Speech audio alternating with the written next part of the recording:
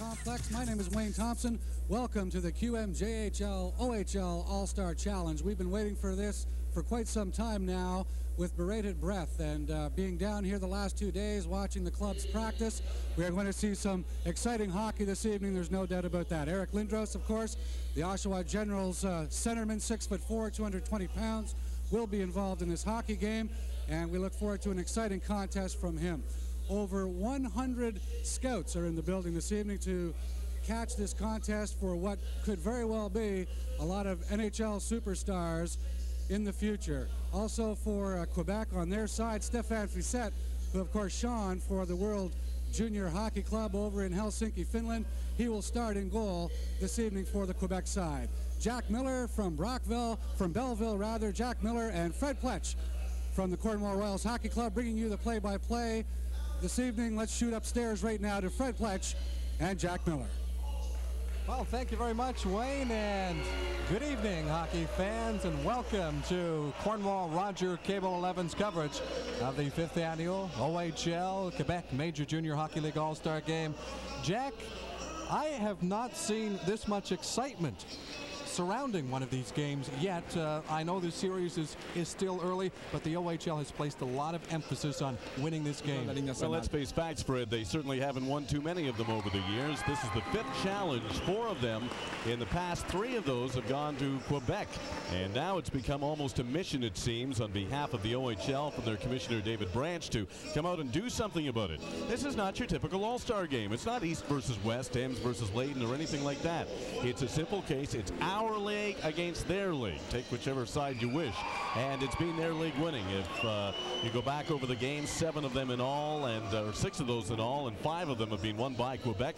And in the early goings, it used to be two games, uh, one in Hull and one in Ottawa. Then they decided after a second year to go down to a single game format, which is why you have the odd number of games compared to the number of challenges. But this is big, and uh, you can tell just by fact that the OHL decided they were going to change the format in selecting players players and went to a committee, if you will. It was Dick Todd and Dave Draper, along with uh, Sam McMaster and Sudbury. That tells you they mean business.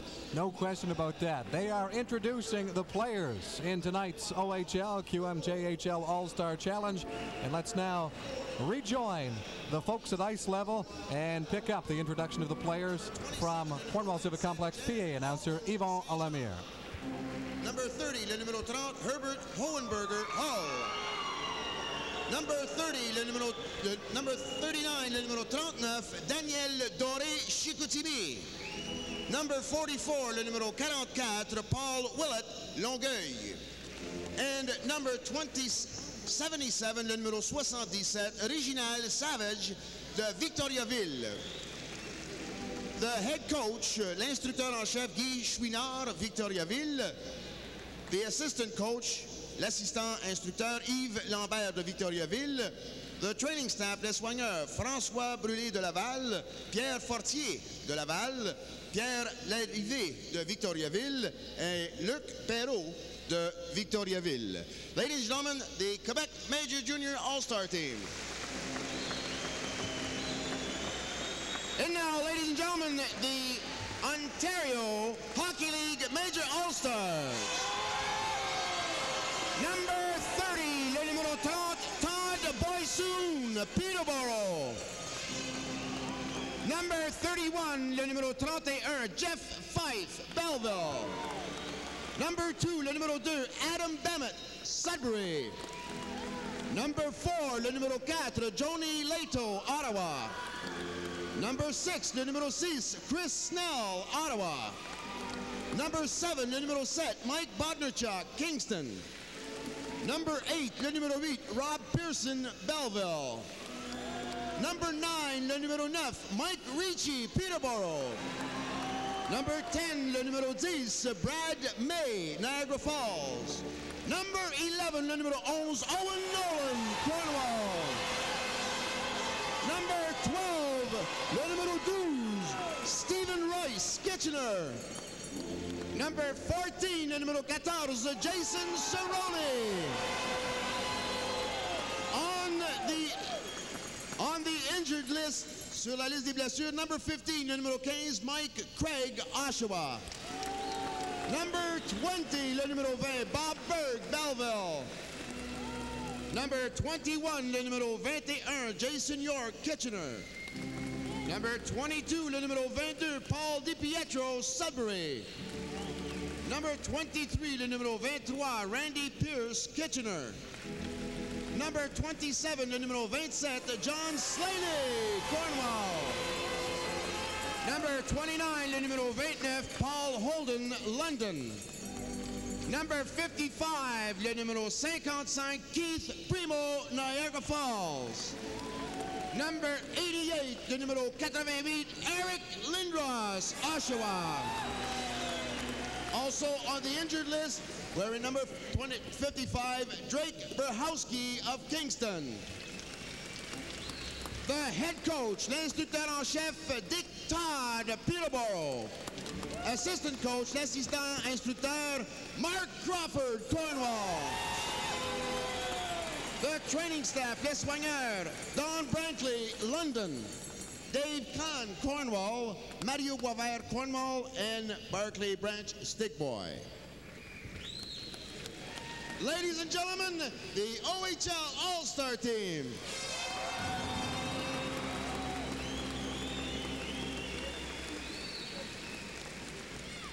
To officially start this OHL and Quebec Major Junior Hockey League All-Star Challenge, please welcome Mr. Cal Contin of Chrysler Canada and Mike McDougall of Cornwall, the representative for Molson Breweries, will officially open the OHL Quebec Major Junior Hockey All-Star Challenge. Yep, right on. I've got it, I've got it in French also. Pour en faire l'ouverture officielle, mesdames, mesdemoiselles et messieurs, nous avons M. Carl Quentin de Chrysler Canada et M. Mike McDougall de Cornwall, représentant la, la brasserie Molson de l'Ontario.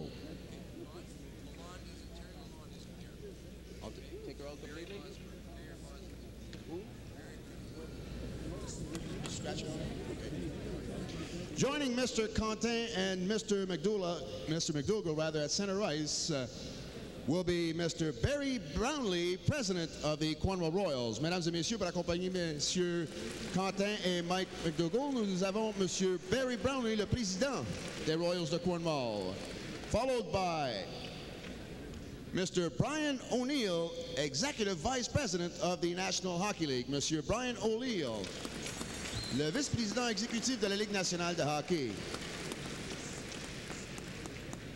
The honorary captain of the Quebec Major Junior Hockey League, known in Cornwall, Pierre Duguay.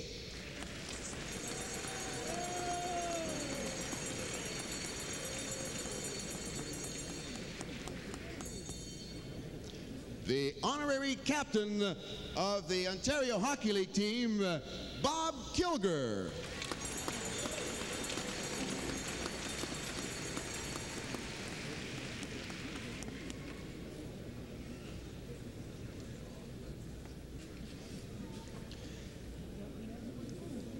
At this time, we would like to ask both. Oh, I'm sorry, I forgot here a gentleman. Oh, by all means, my God, the president of the Quebec Major Junior Hockey League, Mr. Gilles Courteau. Mesdames et messieurs, le président de la Ligue junior majeure du Québec, Gilles Courteau.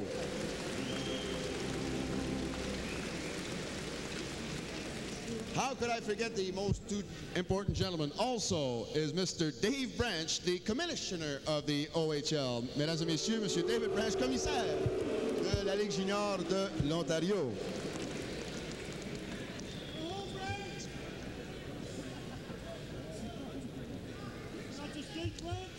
At this time, we'd like to have the captains of each team to please come to center ice, representing the Ontario Hockey League All-Star team, Captain Mike Ricci, and representing the Quebec Major Junior Hockey League All-Star team, Captain Daniel Doré.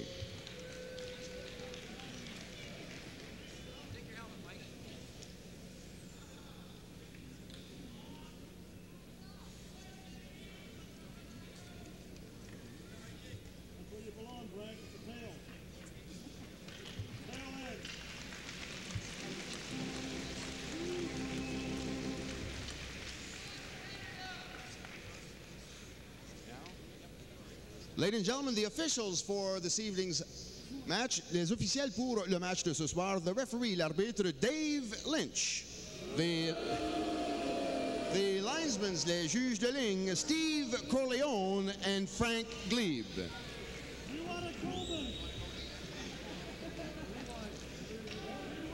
Ladies and gentlemen, the Ontario Hockey League and the Quebec Major Junior Hockey League would like to honor a special group of athletes, coaches, and administrators. Mesdames et messieurs, la Ligue de hockey de l'Ontario et de la Ligue de hockey junior majeur du Québec voudraient en ce moment honorer un groupe d'athlètes spéciaux, également des instructeurs et administrateurs. Please welcome members of Canada's national junior team who captured the gold medal at the 1990 World Junior Hockey Championships held in Helsinki, Finland this past December and January. Mesdames et messieurs, souhaitons la bienvenue aux membres de l'équipe junior nationale du Canada qui ont remporté la médaille d'or au championnat mondial de hockey junior qui fut disputé à Helsinki en Finlande au mois de décembre et janvier dernier. Ladies and gentlemen, the head coach, l'instructeur en chef, Monsieur Guy Charon.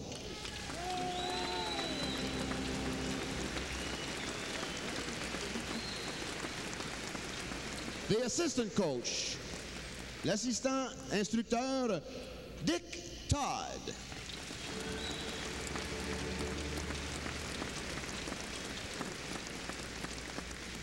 Mr. Pat Reed, Director of Operations. Monsieur Pat Reed, Directeur des Opérations.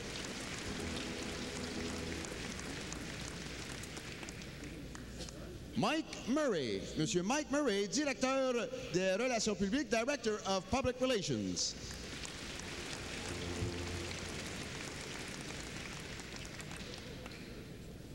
Dr. Rudy Gittens, the team physician, le docteur Rudy Gittens, le physicien de l'équipe.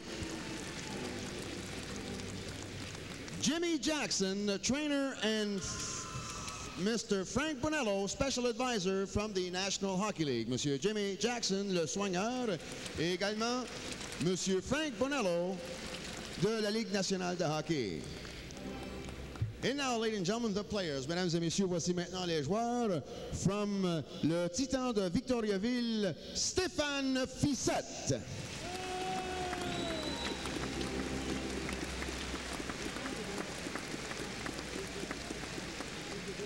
From Laval, de Laval, Patrice Brisebois.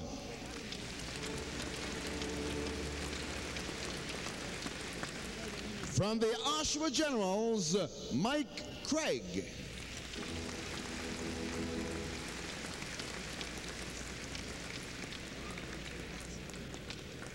Also from the Oshawa Generals, également des générales de, de Oshawa, Eric Lindros. From the Kitchener Rangers, the Rangers de Kitchener, Stephen Rice. And from the Peterborough Petes, the Petes de Peterborough, National Junior Team Captain Mike Ricci. Ladies and gentlemen, your world champions.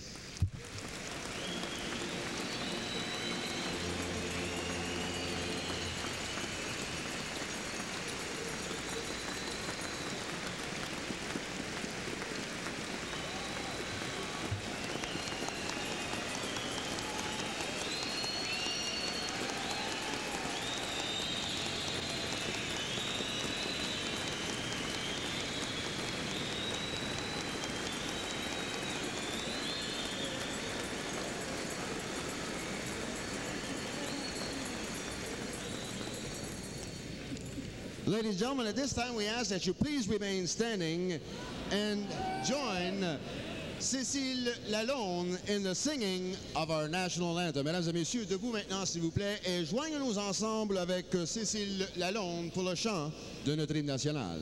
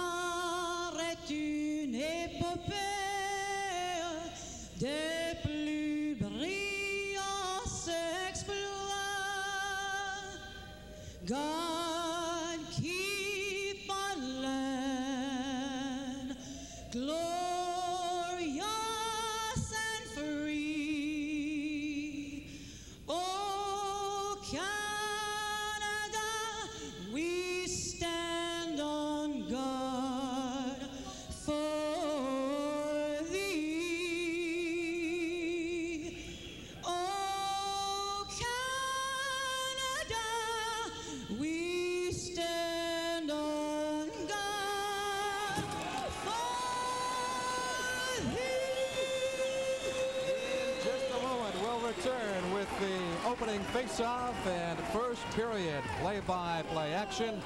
You're watching the fifth annual OHL Quebec Major Junior Hockey League All-Star Challenge live on Rogers Cable 11.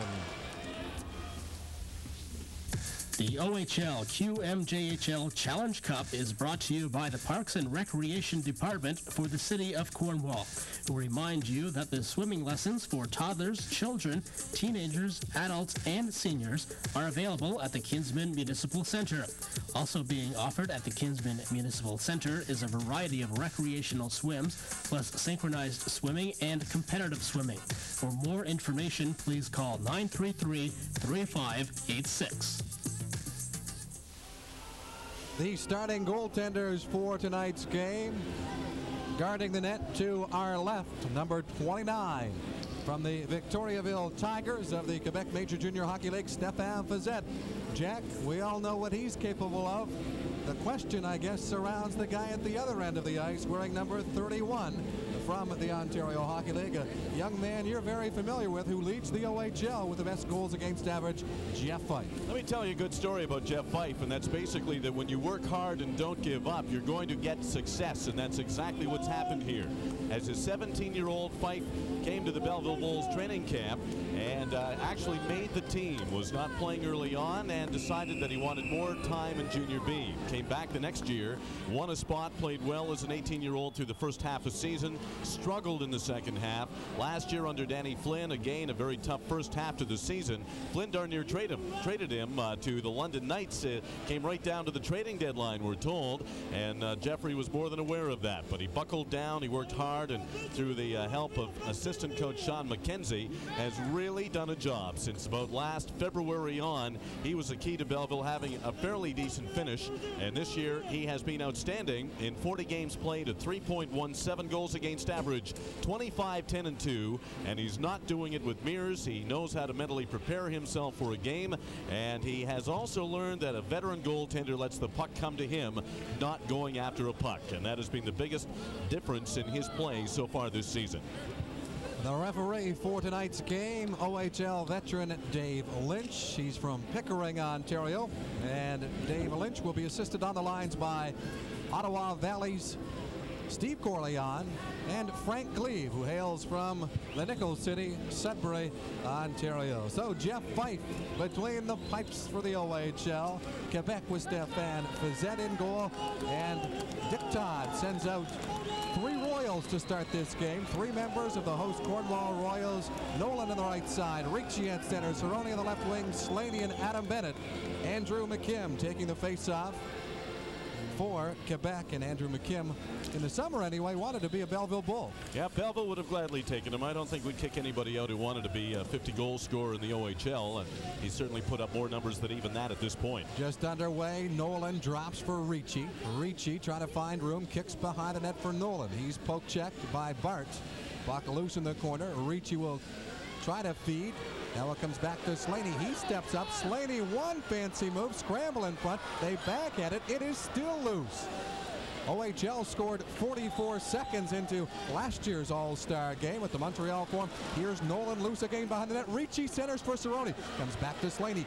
Walks in backhand, forehand, tries to stuff it. They scramble away. The light flickered on, but no way. That puck never crossed the goal line. Well, the light is the still on right now. on. Dave Lynch is right there. What pressure by this line of Nolan, Ricci, and Cirone. Well, that's not surprising. Of course, Nolan and Cirone know each other so well as we take another look at it on the replay. You be the judge whether it's in or not, but Quebec could not clear the puck.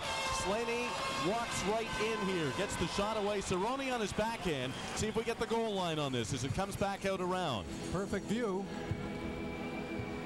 It'll come back to Slaney again eventually. Now watch for it. Right in there. Where's the puck? Looks like it's behind him, but it might not be. But obviously, Dave Lynch right there, and he says, no, it's not in.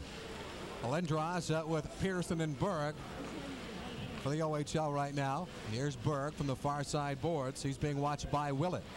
Berg dumps it in back of the net. Lindros is there with Rob Pearson, a first rounder of the Maple Leafs. Dumped in boards again for Lindros. Lindros. He gives it to Berg. Berg trying to find some room. His quarters are very, very tight and along the boards in that Quebec junior zone. Finally fired around the boards for Daniel Dore, and he got stood up. Two But Quebec's pass the across the, blue line, and it's a two-line pass. Daniel Dore really got hammered by number six, Chris Snell. Is Snell's not a very big guy, but he knows how to hip check. He knows how to use the shoulder very, very effectively. The Quebec League is an older team than Ontario. They come into this one surprisingly with four overage players in their lineup, and 13 of their 20 players are 19 years of age or over. Meanwhile, for Ontario, exactly half the roster, 10 of their 20 players are 19 years of age or over, and the only overage is Jeff Fife, and he's in net.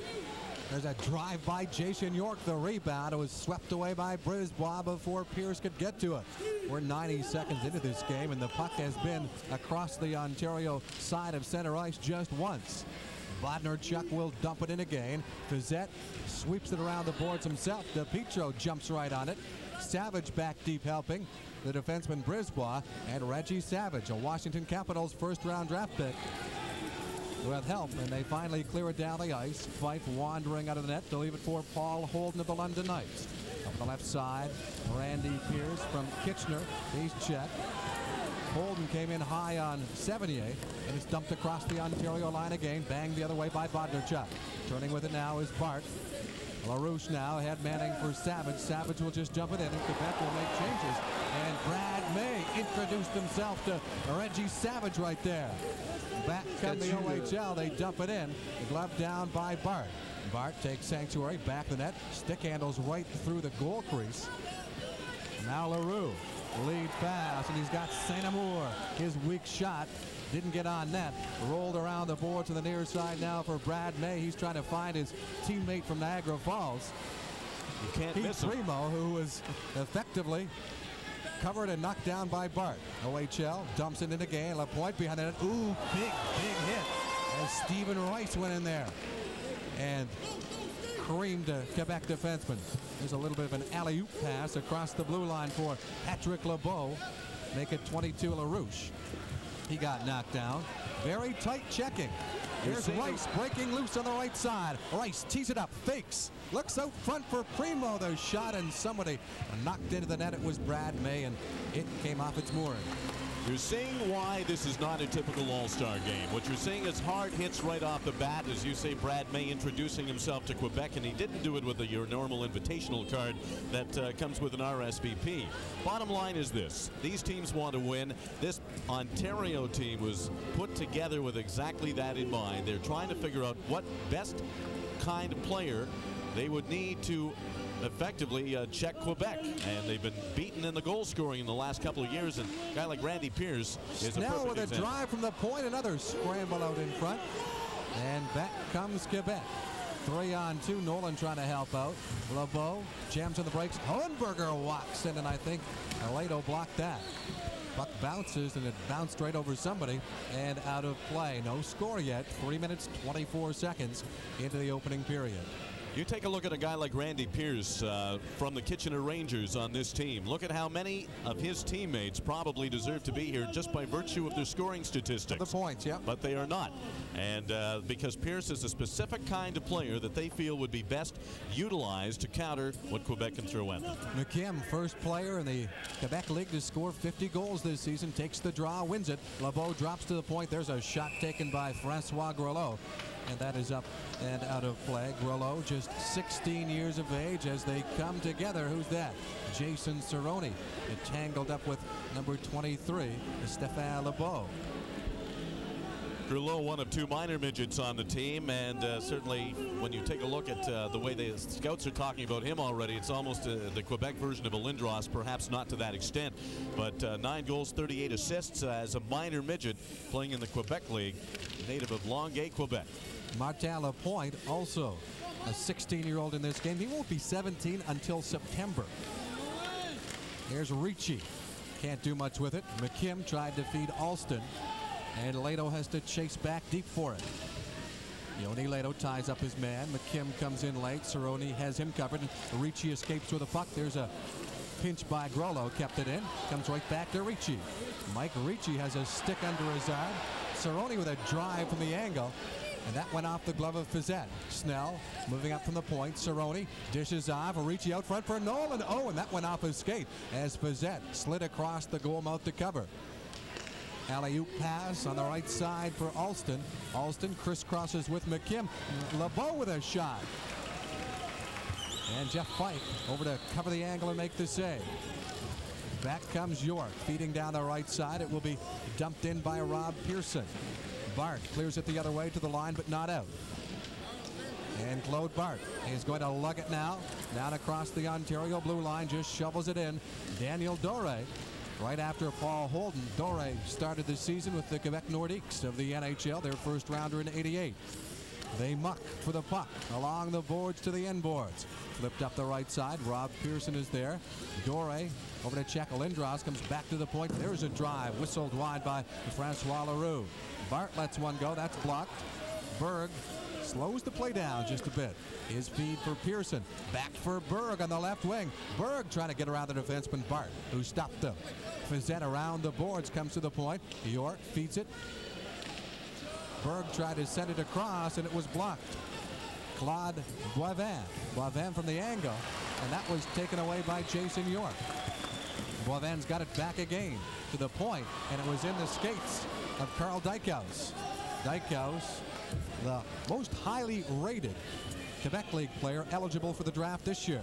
Herbert Hohenberger with a slap shot, and Fife kicks that up and out of play. Herbert Hohenberger played in Austria last year.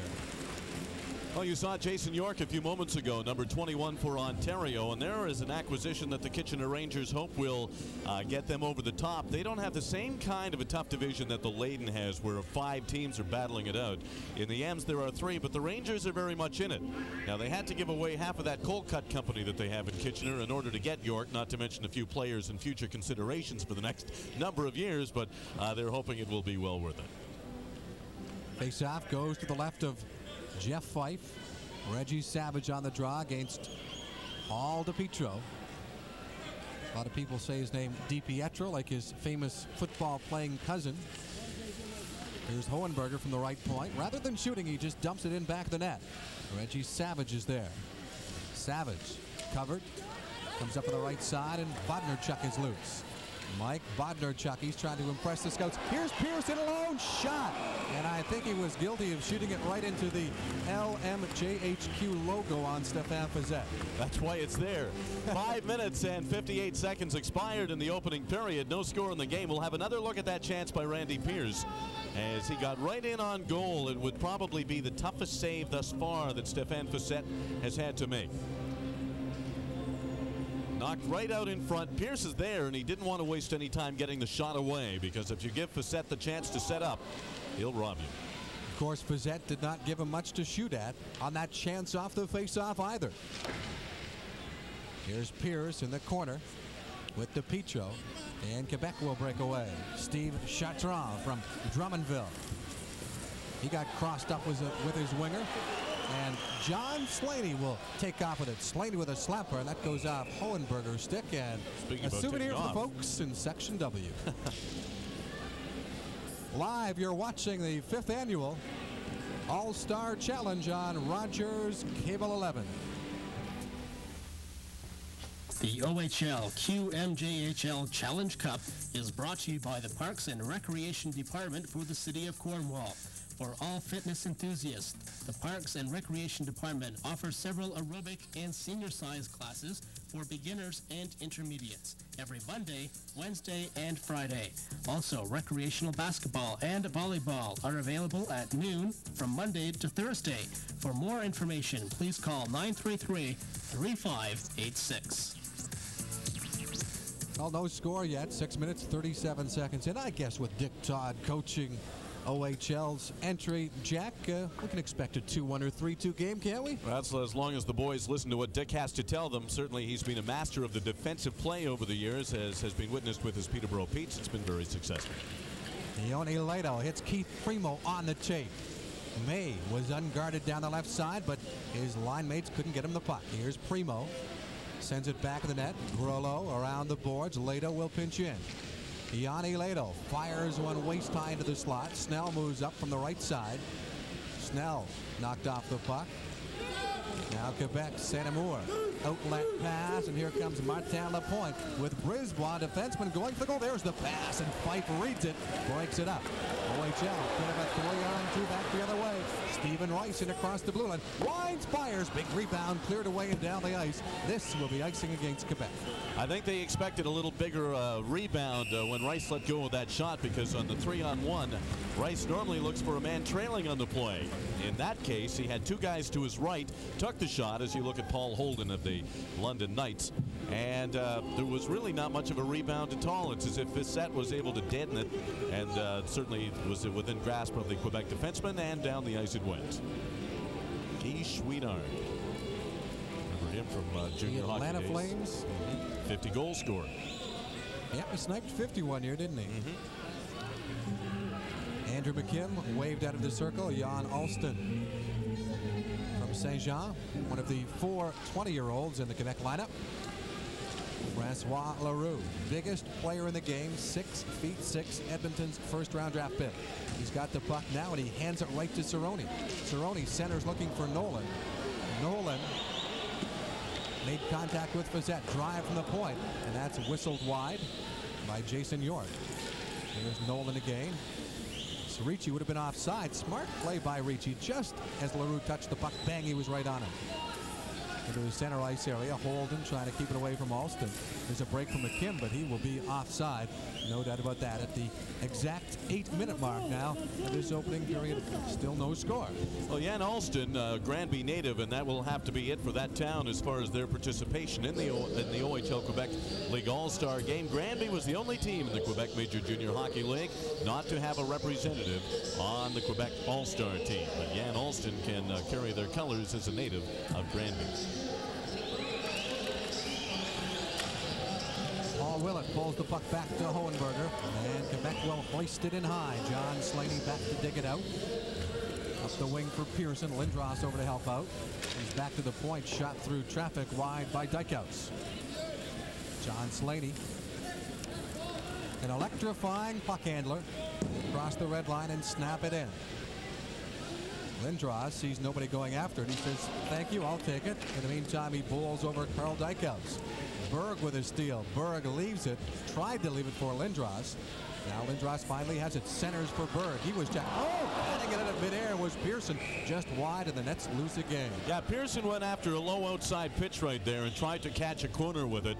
And he's very adept at doing that. On the Belleville power play, you normally find him at the side of the net, and it doesn't matter if that puck is off the ice on the pass or not. He's able, he's got very good hand-eye coordination and uh, good ball player to boot. Out of the strike zone, but uh, I guess he likes to swing at anything. Well, I don't think that uh, referee Dave Lynch was calling strikes and balls, so he thought he better go after anything he could. I don't think that the coaches involved, Todd and Guy Chouinard, are really worried about matching lines here. Although I do know that Dick Todd yesterday, consulting with Sam McMaster of Sudbury, Dave Draper of Hamilton, uh, the other two people who helped Dick Todd pick the Ontario team. Now, what they did, uh, Dick asked them, okay, at the end of the periods, uh, come on down, uh, we would like your input. Just as far as forechecking patterns, who's playing well, who's not playing well, things like that. Well, let's face facts. Uh, Dick Todd, as most coaches in the OHL, now utilize the so-called eye in the sky, and it's not uh, not unfamiliar to see somebody on his bench with a walkie-talkie headset on, talking to somebody in the press box. And and when you set a certain coaching pattern, you want to continue with that pattern. And while he might not have the headset or the availability of such tonight, at least those who are watching, getting a different perspective from upstairs, can give him points or maybe notice things that he can't see downstairs.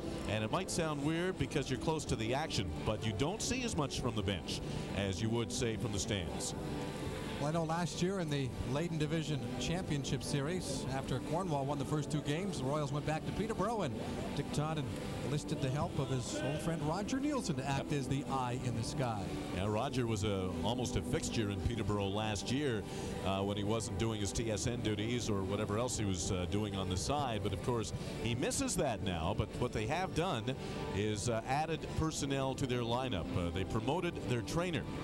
And uh, they have put him up in the press box. He also does some scouting for them, and uh, so that's the way he's overcome that aspect of it. Yeah, Jeff Twohey is being groomed, isn't he? Uh, he's been groomed exactly the way Dick was. Dick was an assistant trainer, then the trainer, then the assistant coach, assistant general manager, and then he got the whole ball of wax when Dryden was fired back in 1981, Dave Dryden. So now I guess Jeff Twohey could be the next boss in waiting. Who knows? Talk about working your way up through the ranks. There, Well- that pane of glass Has been a real pain. It has been a big pain this season. I can recall one night with it going out uh, with the Bulls in town, Fred. That's Chris Clancy's favorite pane of glass. Both times that the glass shattered that evening, it was a check by Chris Clancy on a member of the Bulls, and both happened right in the first period, I believe. Yeah, that's what radio guys really love when suddenly you get these unexpected breaks where you've got enough time to go out for dinner and have your shoes shined. And it looks like we're going to be a few minutes with this. Yeah, here, let me tell you about myself. I was born in 1958, small town, Chatham, Ontario, down in the southwestern part of the province. No, we won't 58, bore you, you like look that. an awful lot older than that. You- it must be you're living. You're not living right. No score in this contest. 11 minutes and 20 seconds to go in the opening period as they uh, try and tend to uh, the glass, and they're getting a camera right down in there to, I don't know, view the. I didn't see it shatter. I don't know if it just broke out it of just there. popped or, out of the out of the seams there. Something that Wayne Thompson mentioned off the top of the show. Close to, or in fact, even over 100 NHL scouts on hand at tonight's hockey game, and the reason they're here, uh, a couple of reasons, uh, namely that 23 members of these two teams are still eligible to peddle their services to uh, National Hockey League clubs, and we have some dandies included. Well, no kidding. As a matter of fact, I'm rather surprised that this year there do not seem to be anywhere near as many drafted players in this game. Usually it's a chance to show them off. And in past years, I know Ontario last year had 11 drafted players in their lineup. But this year there's only five, Fred, and that leaves an awful lot for the rest of the NHL to take a look at. Quebec, on the other hand, have 11 players that have already been selected. Five by the Montreal Canadiens. I guess that's uh, no surprise in itself. And uh, there are two uh, by the Quebec Nordique. The uh, other teams with drafted players tonight, the Toronto Maple Leafs, have two of them, including a rather late round pick. I'm just uh, trying to find him here. uh, Overager Steve Chartrand. Chartrand, right. He uh, was a 12th round pick. And the other one at the other end of the spectrum is Rob Pearson as a first round pick. Philadelphia, Edmonton, Washington, LA, the Rangers, Chicago, and the Jets all have players their property. But that leaves an awful lot up for grabs. And of course, people getting an early look at Lindros. Ricci has got to be the main attraction because he is the number one rated player for the upcoming draft in 1990 in Vancouver. Nolan's not far behind. No, Keith Primeau, John I mean, uh, you're seeing probably five of the top 10 ranked players in the world for the upcoming NHL draft on the ice tonight. And uh, NHL scouts just don't get that kind of an opportunity to see how they stack up against other top notch competition. You do not get this many scouts at the Memorial Cup tournament. There's not as much eligible talent on the ice. That's right. So in this case, uh, the notebooks will be filled by the end of the night. And I noticed Bobby Pulford here tonight from the Chicago Blackhawks. Snell with a shot off the draw as play resumes now. Shot draw, dumping it back of the net for defenseman Patrice Brisebois. He just got rid of it out and down the ice. Yanni Lehto of the Ottawa 67th back to touch it. Different strategy this year for Ontario in choosing its team. And when it was chosen, on all four forward lines, there were two players from the same team for consistency and familiarity, I guess. Certainly helps because in the case of Quebec, they have had a chance to already play a game. Uh, they played, I guess it was against undrafted players. The hopefuls, they were called. Exactly, in Quebec. So at least Guy Chouinard has had a chance to work his guys, practice, and even see them in a game condition. However, the Ontario team didn't come together until Monday when they were picked up by bus. Snell for Ottawa just dumps it across the blue line. Brisebois very capable of taking off with it, but DiPietro with the puck. Shot saved by Fiset, and he'll dive out on the rebound. And Fiset uh, proving to be a bit of an ira- irascible sort down there, Jack. Uh, as soon as he makes the save, he brings the blocker and the stick up, uh, just protecting his turf. Well, I don't know if uh, he was expecting Ontario to uh, perhaps get in his face a little bit more to try and disturb his concentration. So you take a look again. DiPietro getting the quick shot, obviously going low on the glove side, and Fiset read it very well and uh, was able to get down there and make the stop. Looked like DiPietro very close to having the stick above his shoulder when he knocked that puck down. Off the draw, back to Holden. He says, hey, I got room. Moves up. Rebound is there. Shoveled wide by Brad May. Back to the point, and the puck jumps over the boards and into the Ontario bench. Nearing the midway point now, 39 seconds away from the midway point of this opening period of the fifth annual OHL Quebec League All-Star Challenge game. And still no score. Stefan Fiset the much busier of the two netminders. Oh, no question about it. I don't know what the shots on goal are, but even they wouldn't be accurate in the opportunities or the territorial advantage that uh, Ontario has had so far in the game. Paul Holden handles the puck off the draw. Ahead for May. He was checked. Primeau cruises in on Leroux. Puck in the skates of LaRouche. He's got 46 goals on the season in the Quebec League. And back checking Brad May comes up with the puck. May not familiar with what Rice was going to do. And as Rice cut one way, well, May sent the puck that way. Holden chased by LaRouche in deep back of the Ontario net. Here comes Stephen Rice dashing down the right side. He can't get around Leroux. And Ontario goes offside. You're watching the fifth annual All-Star Challenge live on Rogers Cable 11.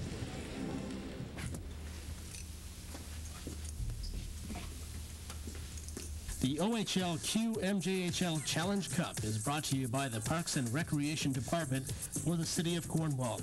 We remind you that the Big Ben Ski Center is now open for all skiers. Big Ben is open Wednesday to Friday from 5.30 p.m. to 9.30 p.m. and Saturday and Sunday from 10 a.m. to 4.30 p.m. Big Ben is also available to groups and organizations for rental. LeBeau with the puck, dropping it off for Dykhuis down the right side. Hohenberger not expecting it. Up with the puck is LeBeau. He loses it. McKim tried to find some room wide left. Puck back to Hohenberger. And the Hull Olympic defenseman dumps it in. Nolan covers LeBeau. Bennett over there. McKim is stripped of the puck by Nolan. Nolan gets past one man. Here's Cirone with Ricci. Fed for Ricci. Ricci gets it. Tried to move it back to Cirone. That was broken up by Dykhuis. Behind the net, Nolan tries to walk right out front with it. Slaney was retreating, and LeBeau brings it up ice for Quebec. LeBeau with Hohenberger trailing. That rush thwarted by John Slaney as Quebec changes up defensively. Here comes Slaney. He goes end to end here often during the regular season, trying to blow wide on Groleau. Centers it, Cirone with a drive, and that went off his stick and bounced crazily out the other side. Quebec with a lead pass for Willett. Now fight wandering under the goal to move it up the left side for Cirone. Dore hammers Cirone, blindsides him from behind. Rolo up with a puck now for Quebec. Lead pass for Dore off his stick right to Cirone. Cirone did not see Rob Pearson fresh off the Ontario bench. He may have been able to get a stride on Groleau. Now they battle forward in the corner. Boivin flips it out to Willett. Intercepting now is Chris Snell. Snell stick handling across the line. He's knocked down by Boivin. And Quebec will try to come out again. The right side for Dore. He's got Willett breaking. There's the feed. Willett in a lone shot, and he hit the goal post. Willett jumps on the puck and boards. Tried to feed it around. No penalty coming up on that. Here's Brisebois trying to plug the left point. Not successful. Puck in some skates. It will come back to Leroux, and he snaps it the other way. Chris Snell feeds it for Lindros. Lindros will chase to the corner. There are 13 feet of player all alone in front is Berg, and it jumps over his stick. Back comes Quebec. Willett down the right side. He's got to be tired after the breakaway chance. Feeds it across, and Fife comes up with a glove save on Claude Boivin. Now it's stolen by Reggie Savage. He dipsy doodles his way in front. Loose puck for Fife. He says, thank you very much. Time for a break, guys. This is the most sustained pressure that the Quebec League have had on uh, Jeff Fife in the game so far. It's uh, basically been Jeff down there all by himself. But Willett taking that feed walked right in on goal. Fife seemed to stumble a little bit. And as Willett uh, tried to reach down with the, rather Fife reaching down with the glove, he uh, ended up having it go off the post. Now watch this, the feed in for Willett. He popped it off the post, but Fife had stumbled just ahead of that, which threw him off balance. Paul DiPietro will take the face-off against Reggie Savage. DiPietro leads the Ontario Hockey League in scoring with 49 goals and 47 assists. Red hot lately for the Sudbury Wolves. Yeah, all season. Puck flipped outside the Ontario blue line, driven right back in by Bart.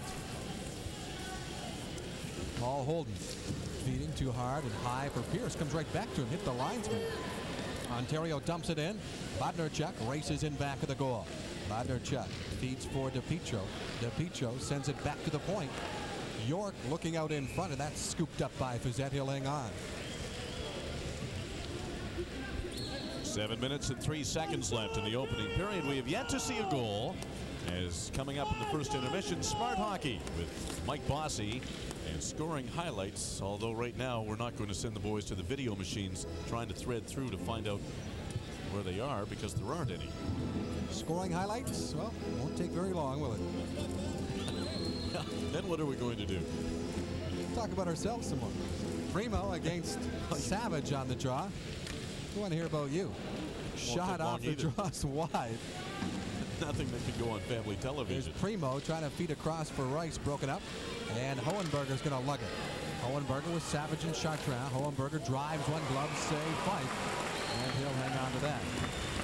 Well, I think it's often the case in games like this, Jack. Well, a player will quickly discover he cannot do the things at this level of play that he's able to get away with in regular major junior hockey league play.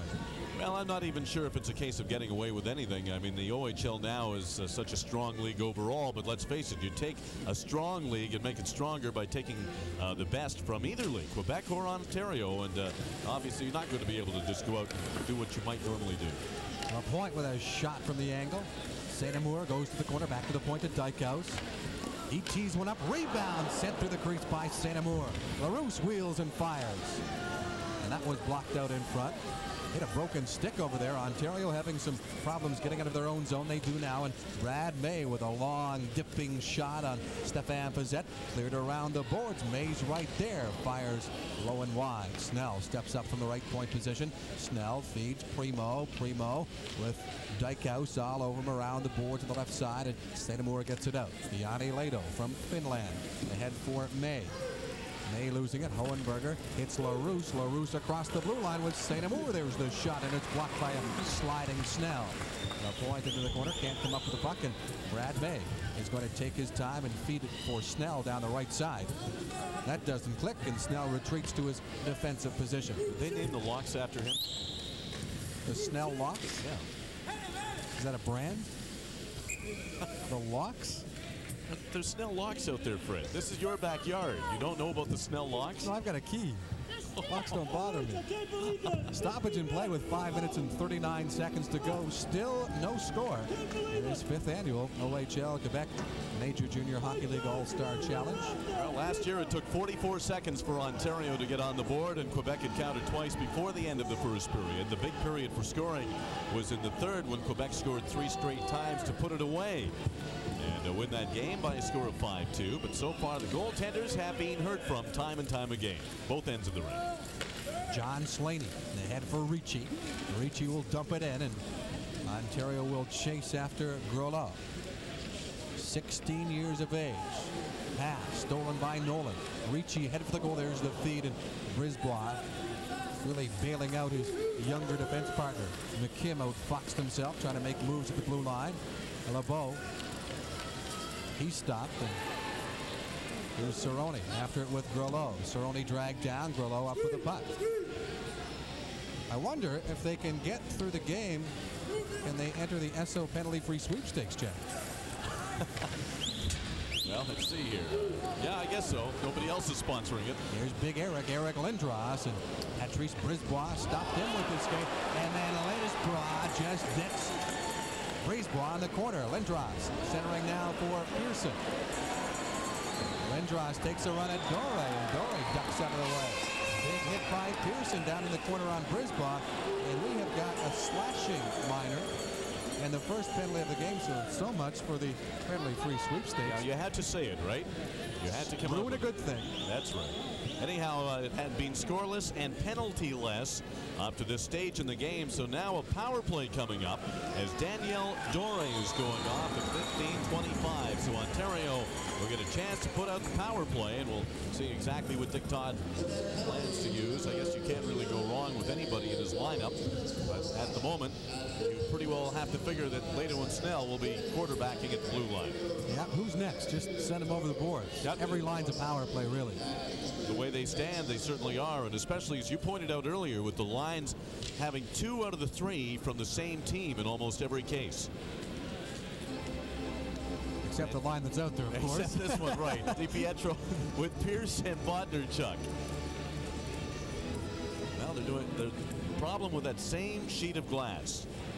I don't know if it's with the bracket Well- brace in there or what it is. Part of the problem when the Civic Complex was built, you can't tell by the naked eye. Well, I guess you can in some cases, but all those panes of glass, Jack, or the majority of them, are different widths, different measurements. Just a uh, potpourri, Joni Lehto. sizes. from Ottawa. 67's picked up in his uh, second year in the OHL, but a 19-year-old. And talk about him coming from Turku, Finland. And you have Herbert Hohenberger from Villach, Austria. He played in Austria last year, then uh, came back this year uh, playing defense for Hull. You So, have truly an international. Uh, Owen Nolan lineup. from Belfast, Northern Ireland. There you go. Now all we needed was uh, George Durian from Ottawa. He comes from Beirut, Lebanon. Beirut, Lebanon. What country was that you came from? Well, Jeff Fife has not been as busy as his counterpart, but in the last few minutes, Quebec certainly had the pressure on, and we're getting a real goaltending display. For those doubters as to what Jeff Fife could do, I think he's answered them so far in the first period. Fiset has proven himself on the international stage, and so everybody knew what his qualifications were coming into this one. Now the question is, will Dick Todd stay with one goal goaltender through the entire game, or go to his own Todd Bojcun, who was on the bench? No, if if it's a tight game, a one-goal game, I think Dick Todd will stay with Jeff Fife.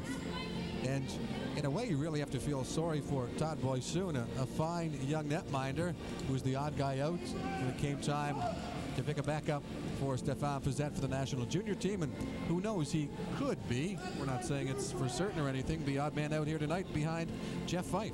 Go with the hot hand, and Fife has it right now. Well, this again just demonstrates to you that this is not your normal everyday All-Star game. Winning is foremost in the minds of the players, coaching staff, and indeed in the league. They've got a little bet going uh, between the commissioner of the OHL and the president of the Quebec Major Junior Hockey League, where the loser will wear the winner's colors across the ice, I guess. Well, they might have to put Vince Lombardi's picture on the trophy. On the Challenge Cup, winning isn't everything. It's the only thing. DePietro to Snell. One time by Lehto. And a pad save made by Fiset. That had eyes getting through there because there were about seven players between Lehto at the blue line and Fiset on the goal line. That's his nickname, one timer, Joni Lehto. As players often have catchy little nicknames on their underwear, and it's one timer on Yanni's. You you looked? I saw the press boxes right, or the press rooms right by the Ottawa dressing room. You know that. There's a one-timer. Bodnarchuk scores. Mike Bodnarchuk in the left face-off circle, and he just one times one past Stefan Fiset. Power play goal. Ontario opens the scoring. Well, the Kingston right winger will take the pass cleanly, and getting the shot away was the key, and he kept it low into the corner. Here's the pass from the point. Bodnarchuk open, and bang, right into the corner of the net.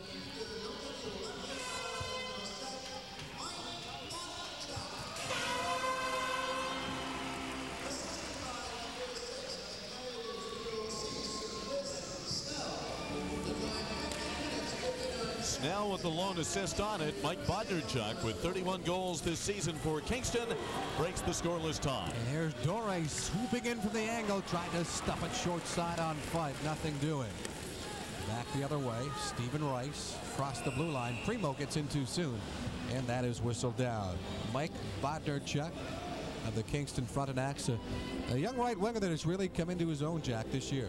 Well, uh, now suddenly he has a cast of players to work with. Uh, two years ago as a rookie, uh, the disastrous year when the Canadians lost 28 straight. Last year, a young club getting to know each other that missed the playoffs as the Raiders, and now the veteran crew uh, under Larry Mavety and the Frontenacs in first place in the Leyden division. Bodnarchuk is a big reason why.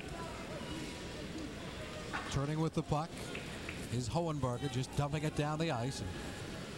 Fife comes out to set it up for Holden. Dore right on him. Willett with a quick shot wide. Rice will pick it up in the right wing. Can't get it past the Boivin. Jason York clears the zone. Hohenberger comes back to collect it. Herbert Hohenberger, longest name in the All-Star Challenge game. You're counting letters. Paul Holden. Some people are big on trivia, such as that. Jason York, as the OHL breaks out nicely. Primeau trying to get around the last line of defense. Hohenberger. Boivin now. He's got some room to operate in the center ice area. Just kind of rolls off his stick, and Brad May says thank you very much. May feeds Rice. Rice lets a shot go, and he fell down in the shooting process. Hohenberger with 2.43 to go in the opening period. Down the right side for Chartrand. Steve Chartrand steps across the line. Cirone covered the player he tried to dish off to, and Ricci comes back, bounces a pass off Chartrand, and Owen Nolan wants the puck, but Fiset beats him to it, shoves it off the glass. Kept in at the point by the Ontario defenseman. Drop pass, Ricci drives the angle, big rebound cleared away. Comes back to Adam Bennett. He dumps it in end boards. Nolan is there, centers, bounces off his stick, high into the slot, and Reggie Savage picks it up. Dishes off to Chartrand on the right side. Chartrand breaks, tries to feed it into the slot. A back checking Nolan will pick it up. He curves it up the left side for Cirone. Now Ricci and Slaney two on two. Ricci is wide right trying to get around the defenseman Groleau by himself. And Ricci is almost headbutted into the end boards. Nolan with a big hit on number 24, Patrice Brisebois. Andrew McKim dashing back, shot from the angle, kicked up neatly by Jeff Fife. Snell in the rebound, and he jammed his stick into the end boards and very dangerous situation there as the stick got jammed into the opening where the boards meet the ice. Ontario coming back with more pressure uh, since the last goal. They seem to be spurred on by that. And Mike Ricci doing some good work, uh, but he couldn't outmuscle Francois Groleau along the boards. However, Ontario on a line change, so he didn't have any choice but to try and eat the puck, maintain possession for as long as he could to allow his team to complete its change. Eric Lindros back out in the faceoff against Andrew McKim. McKim with 53 goals, that is tops in Quebec this season. And McKim wants to play well tonight. He's not that big, and size certainly a factor against him as far as his NHL draft prospects go. There's Eric Lindros taking off with a puck. Lindros hits the blue line, snaps it into the backhand. They chase after Claude Bart, who gets rid of it quickly. Aledo from the point with a high drive, and Fiset saw it at the last minute, got the blocker on it. Leroux with a hit on Lindros behind the net. Puck squirts free. Comes to the point for Snell. He's using the boards and comes right back to him. Less than a minute to go now. The opening period. Ontario leading 1 0 on the Mike Bodnarchuk power play marker at the 15:59 mark. Yanni Lehto dumps it into the far corner. Leroux pursued by Berg. Leroux kicks it free to the near corner. He's got Alston up the right side. Tic-tac-toe into the neutral zone. LeBeau back for Alston. Alston fakes the shot, drops for LeBeau. LeBeau walks in, forehand, backhand, can't get the shot away as he was knocked down. Puck flipped around the right side, the goal scorer Bodnarchuk. He'll be joined now by Bob Berg. Bodnarchuk trying to squeeze his way through. Two Quebec players down, walking in. There's a shot taken by Bob Berg. Another high drive to the point by Holden is high and wide. And Petro tries to hook it out in front.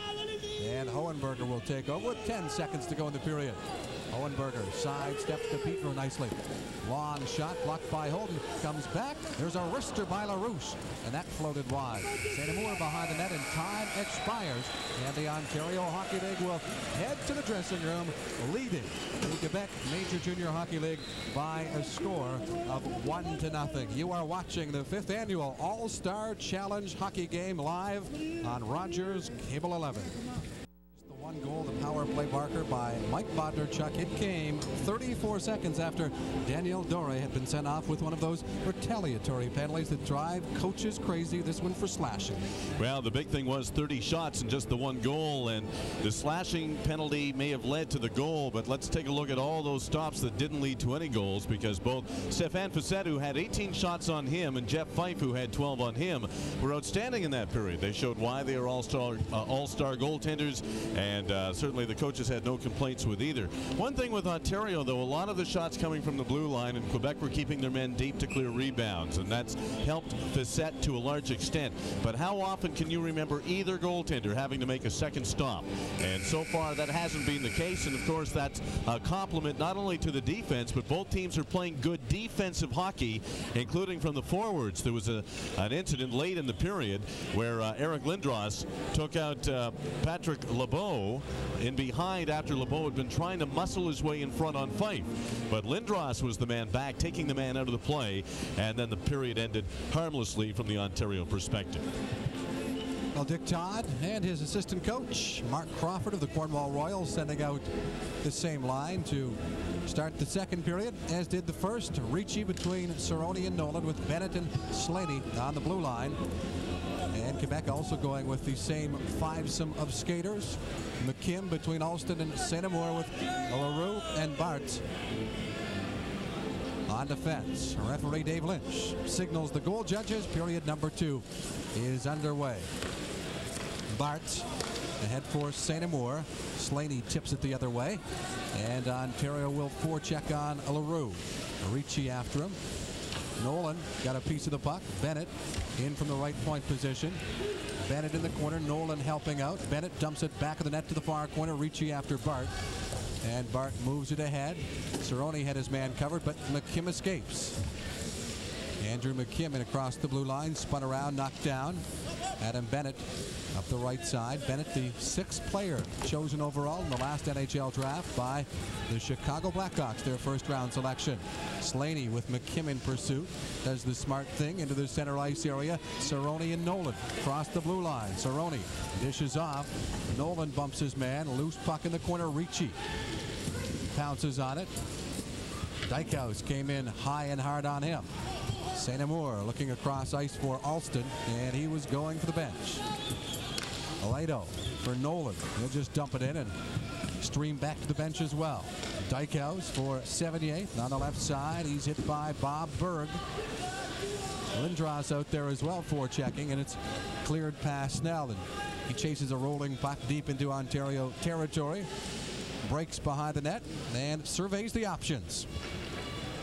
It's Lindros down the right side. Lindros tried to go rink wide to Berg, broken up by Savage. Chartrand after the loose puck. Snell beats him to it. Hohenberger controls. Across for Dykhuis. Didn't wait long enough, and that's offside. A minute 37 into period number two. Ontario leading 1-0 on the Mike Bodnarchuk goal. Andrew McKim, all five feet eight inches tall, a frustrated hockey player, particularly with Verdun last year before his trade to Hull. But perhaps the best thing that could happen to Andrew McKim was Theoren Fleury of the Calgary Flames, who now is opening the eyes of scouts and the thinking of general managers that maybe smaller players in today's NHL not such a bad thing. I mean, you have some big defense, you've got big wingers, you can get away with a smaller guy at center, and Fleury has certainly proved that since coming up about a year ago to the Calgary Flames. Yeah, you can go right through Francois Leroux's legs There you go. on a rush. Well, they've added an assist on the Ontario goal to Joni Lehto. So it now reads Bodnarchuk from Lehto and Snell. Groleau chasing deep in back of the Quebec net. At the right side for Dore. He shovels ahead. Looking for Boivin. Goes the length of the ice. Boivin drags down York. Bodnerchuk back deep helping out. Dore after him along the far side boards. Pierce chops it ahead for DiPietro. DiPietro stripped of the puck by Boivin. He fires it across to Groleau. Francois Groleau. It's LeBeau. Good stop. As number 44, Paul Willett. One time to feed down the left wing, and Jeff Fife showed some great reflex action, scrambling across to get the right pad and the stick on it. Stephen Rice taking off on his off wing. Drop for May, May for Rice behind the net. May centers, and Petro was there, but it was just tipped away by St. Amour. Andrew McKim loses his footing. St. Amour met by Adam Bennett right in front of the Ontario bench. Bennett with the puck now. Down the left side for Brad May. May will shovel it in. Rice and Primeau will forecheck. LaRue around on the right side. May trying to hold it into the line, and it comes back to the Ontario stripe, manned by John Slaney. Slaney just banks it up off the boards, returned the other way. As the team's right now having trouble putting a couple of passes together. Slaney hits Primeau. Primeau dumps it off the far corner boards. As it came in front, it was picked up by Bart. On the left side for St. Amour. He breaks out with McKim and Alston. Fed on the right side for Alston. St. Amour trails, picks up the pass, looking out front for McKim. That was broken up. And Brad May comes back. May for Primeau. He's all by himself. And stripped of the buck by Dykhuis. He shot it off the linesman. Dykhuis still has it. And it comes back to him a second time. Alston Looking for Dykhuis, broken up. Aledo ahead for Ricci. Ricci with Cirone. And as they tried to crisscross, Hohenberger stepped up. There's a two-on-one for Quebec. 78 with McKim. McKim sends it across, and it went off the stick of the defender and bounced harmlessly into the corner. McKim seemed to be in no man's land. Didn't know if he wanted to shoot or pass off. Elected for the pass at the last minute, and it was taken away. He wanted to see what Snell and Fike were going to do first before making the play. Dykhuis tripped up back of the net, regains his footing, clears it down the right side, too far for Chartrand, and Paul Holden comes back with 78 in pursuit. LA Kings draft pick is Paul Holden. Reggie Savage pins him in against the boards. Ricci tries the other side for York ahead for Cirone. Jason Cirone just tried to dump it in. Fanned on it. Puck comes down and Jason York's across the blue line. York drops for Ricci. Ricci across as Pearson moved in. And that was intercepted neatly by Patrice Brisebois. Brisebois across the blue line for 78. And his slapper is blocked by Belleville's Bob Berg. He brings it back up ice with Lindros and Pearson. Berg losing it. With Groleau. Now Berg chases back of the net again with Groleau. Left there. Lindros jumps on it. Lindros behind the goal with that big wingspan of his. Trying to get it out front. Broken up. Chartrand bailed up with John Slaney ready to hip check him.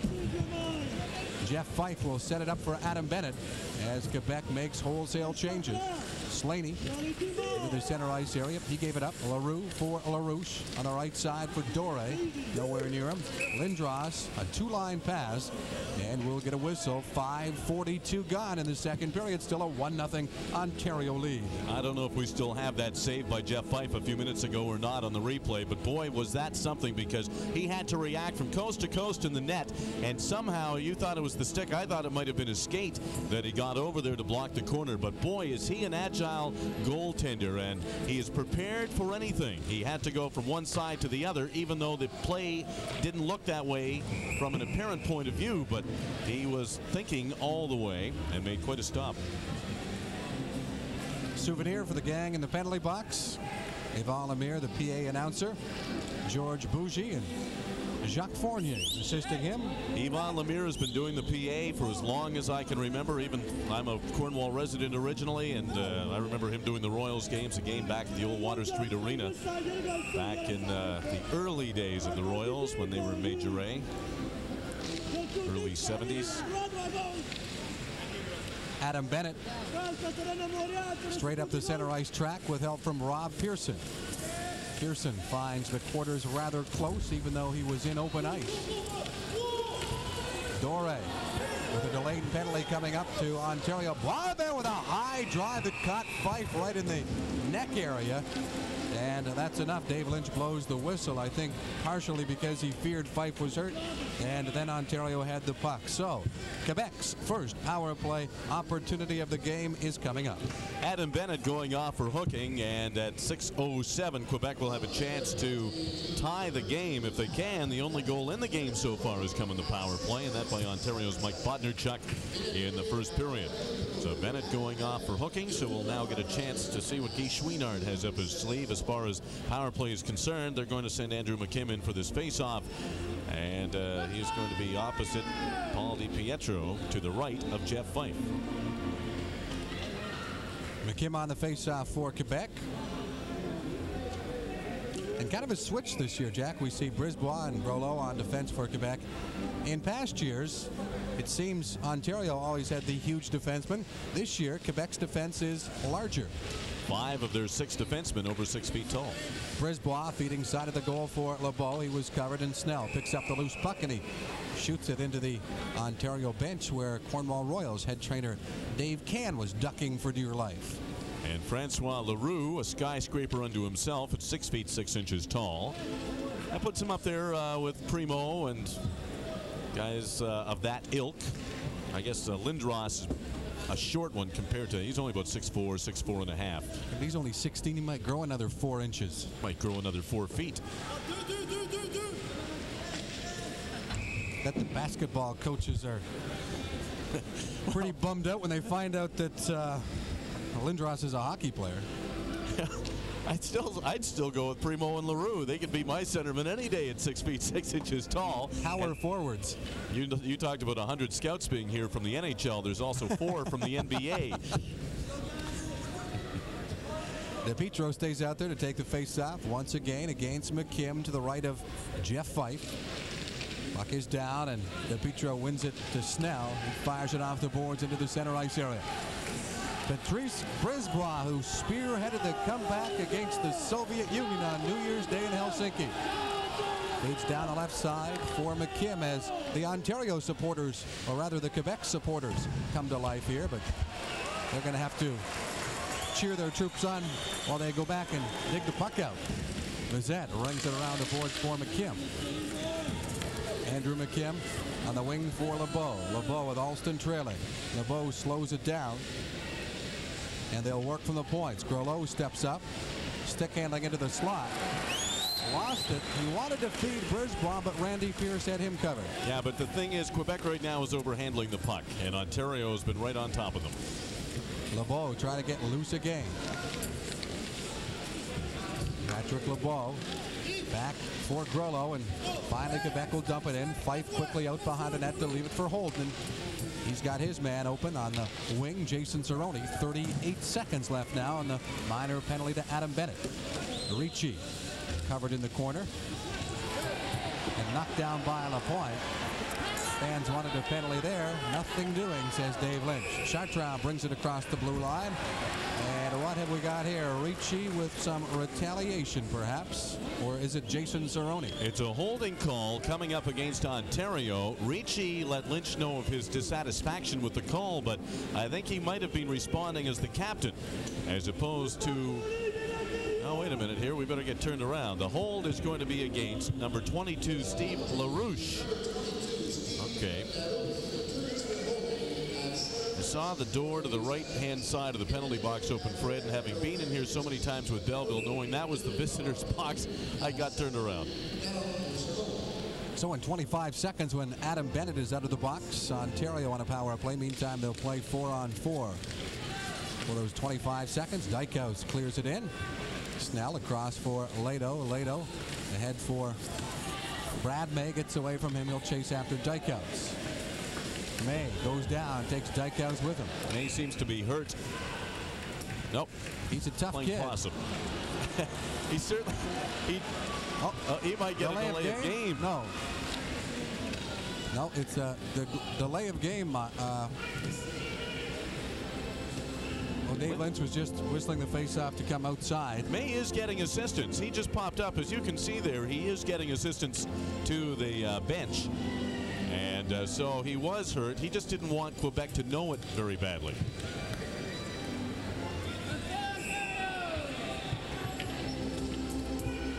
So in eight seconds now, Bennett out of the box and Ontario on that one minute 35 second power play. Lindros and Berg up front. As Jeff Fife counts down the seconds. Lehto drives one in off the pad of Fiset. Dykhuis hammers it around the glass. Lehto trying to plug the point. He's rammed by Savage. Pearson holds his man off the puck. And here comes Lehto stepping across the blue line and rings it around the boards. Pearson far corner. Behind the net now, Berg and Lindros are there. So too is Hohenberger. He gives it right to Snell. To Lehto, one-time shot, bounces crazily side of the goal. Berg trying to feed it back to the corner. And it jumps up and out of play. One You're watching the fifth annual All-Star Challenge live on Rogers Cable 11. The OHL QMJHL Challenge Cup is brought to you by the Parks and Recreation Department for the City of Cornwall, who are offering a unique program at the Kinsman Municipal Center. Kids Crafts Parents Splash gives toddlers one hour of crafts, storytelling, and exercise while mom or dad swim free. Register now at the Kinsman Municipal Center. Off the face-off, Quebec wins it and fires it down the ice. Quebec shorthanded here. The Ontario power play with Bodnarchuk along with Pierce and DiPietro up front. As DiPietro brings it across the blue line, Pierce handles it. Bennett holds it in at the line. Slot for Pierce. He heads for the goal. Tries to stuff it. Saved by Fiset. Pierce has it again. Far quarterback to the point to John Slaney. He winds, fires, and a Quebec player got a stick in the way, and it rockets up into the crowd.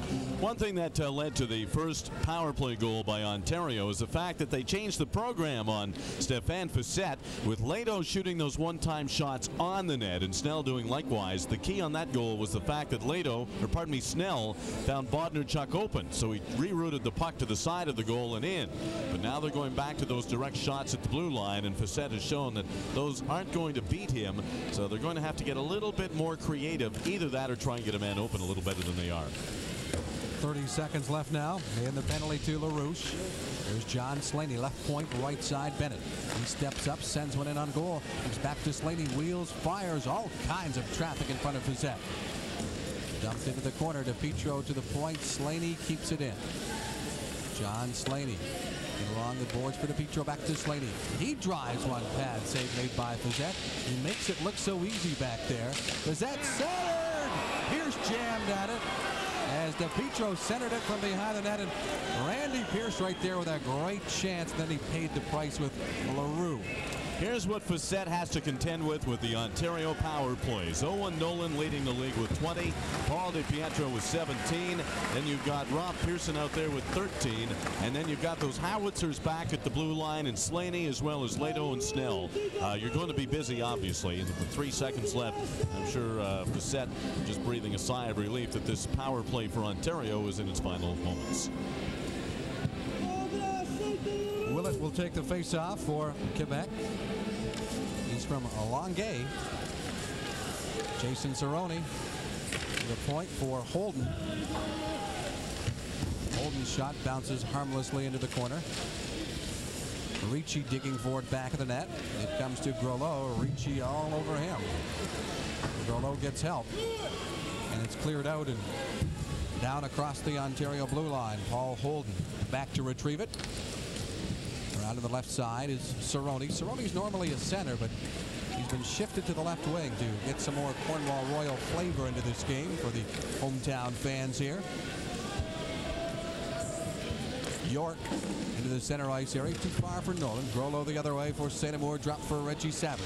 He's got some speed in with a shot, and he tried to go between Fife's legs, but he put it waist high. Now we've got some pushing and shoving in the crease. Owen Nolan, who's no stranger to that sort of stuff, involved with Claude Boivin. Now, coming up during the second intermission, uh, Wayne Thompson will be a rather busy lad. Uh, first of all, a tribute to Canada's junior hockey team, and then Wayne will have along OHL Commissioner David Branch and Larry Carriere. Remember him with the Buffalo Sabres? Well, you'll get to meet him during our second period. Intermission, as well as some scoring highlights. Uh, so far, we're in the same boat we were in the first period. Highlight-wise, there's not a lot to talk about. Well, great tribute, let me tell you, to Canada's national junior team, which has been put together by Drew Miranda, who is the video man for Canada's Olympic team. And it is a treat to watch. And right now, Ontario is shorthanded as Jason Cirone has been sent to the penalty box. So he picked up the lone minor from that exchange in front of the net. I thought that Boivin and Nolan were the main com combatants, but Jason Cirone also did something that incurred the ire of Dave Lynch. Now, Lynch hasn't been too iris uh, that much tonight. That's just the fourth penalty called in the game. Second against Ontario. Quebec is 0 for 1 with the man advantage and, in fact, took a penalty uh, during the last power play they had.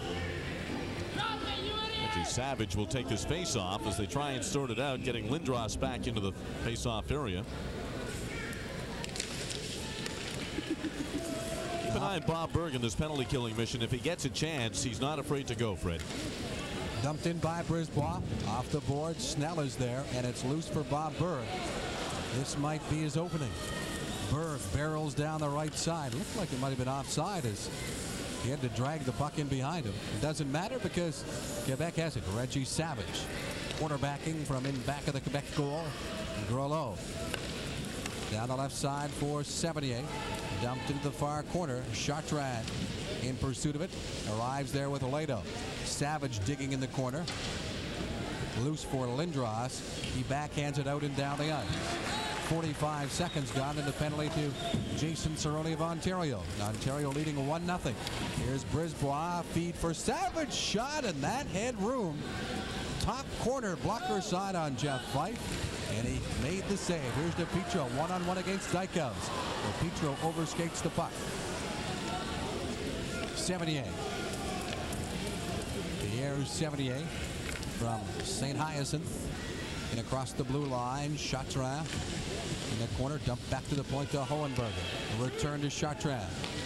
Left point now for Dykhuis. He unloads and it's wide. Slaney tries to chop it out. Chartrand right on it. Behind the net. LaRouche up the boards now. Two Ontario players right there. And DiPietro and Pierce come away two on two. DiPietro almost got around Hohenberger, who finally stopped him. And Martin St. Amour backing across the blue line. Puck rolls off the end of his stick. He'll keep it in at the line, but he gives it right to Holden. 15 seconds left now on the Cirone minor. I talked about Berg a few minutes ago going on shorthanded. Uh, Randy Pierce with five shorthanded goals for Kitchener this year, so he too is a threat out there. Lead pass as they try to spring LaRouche in behind the Ontario defense. Penalty to Cirone is over. Ontario back at full strength. Jason York feeds it on the right side, jumps over Nolan's stick.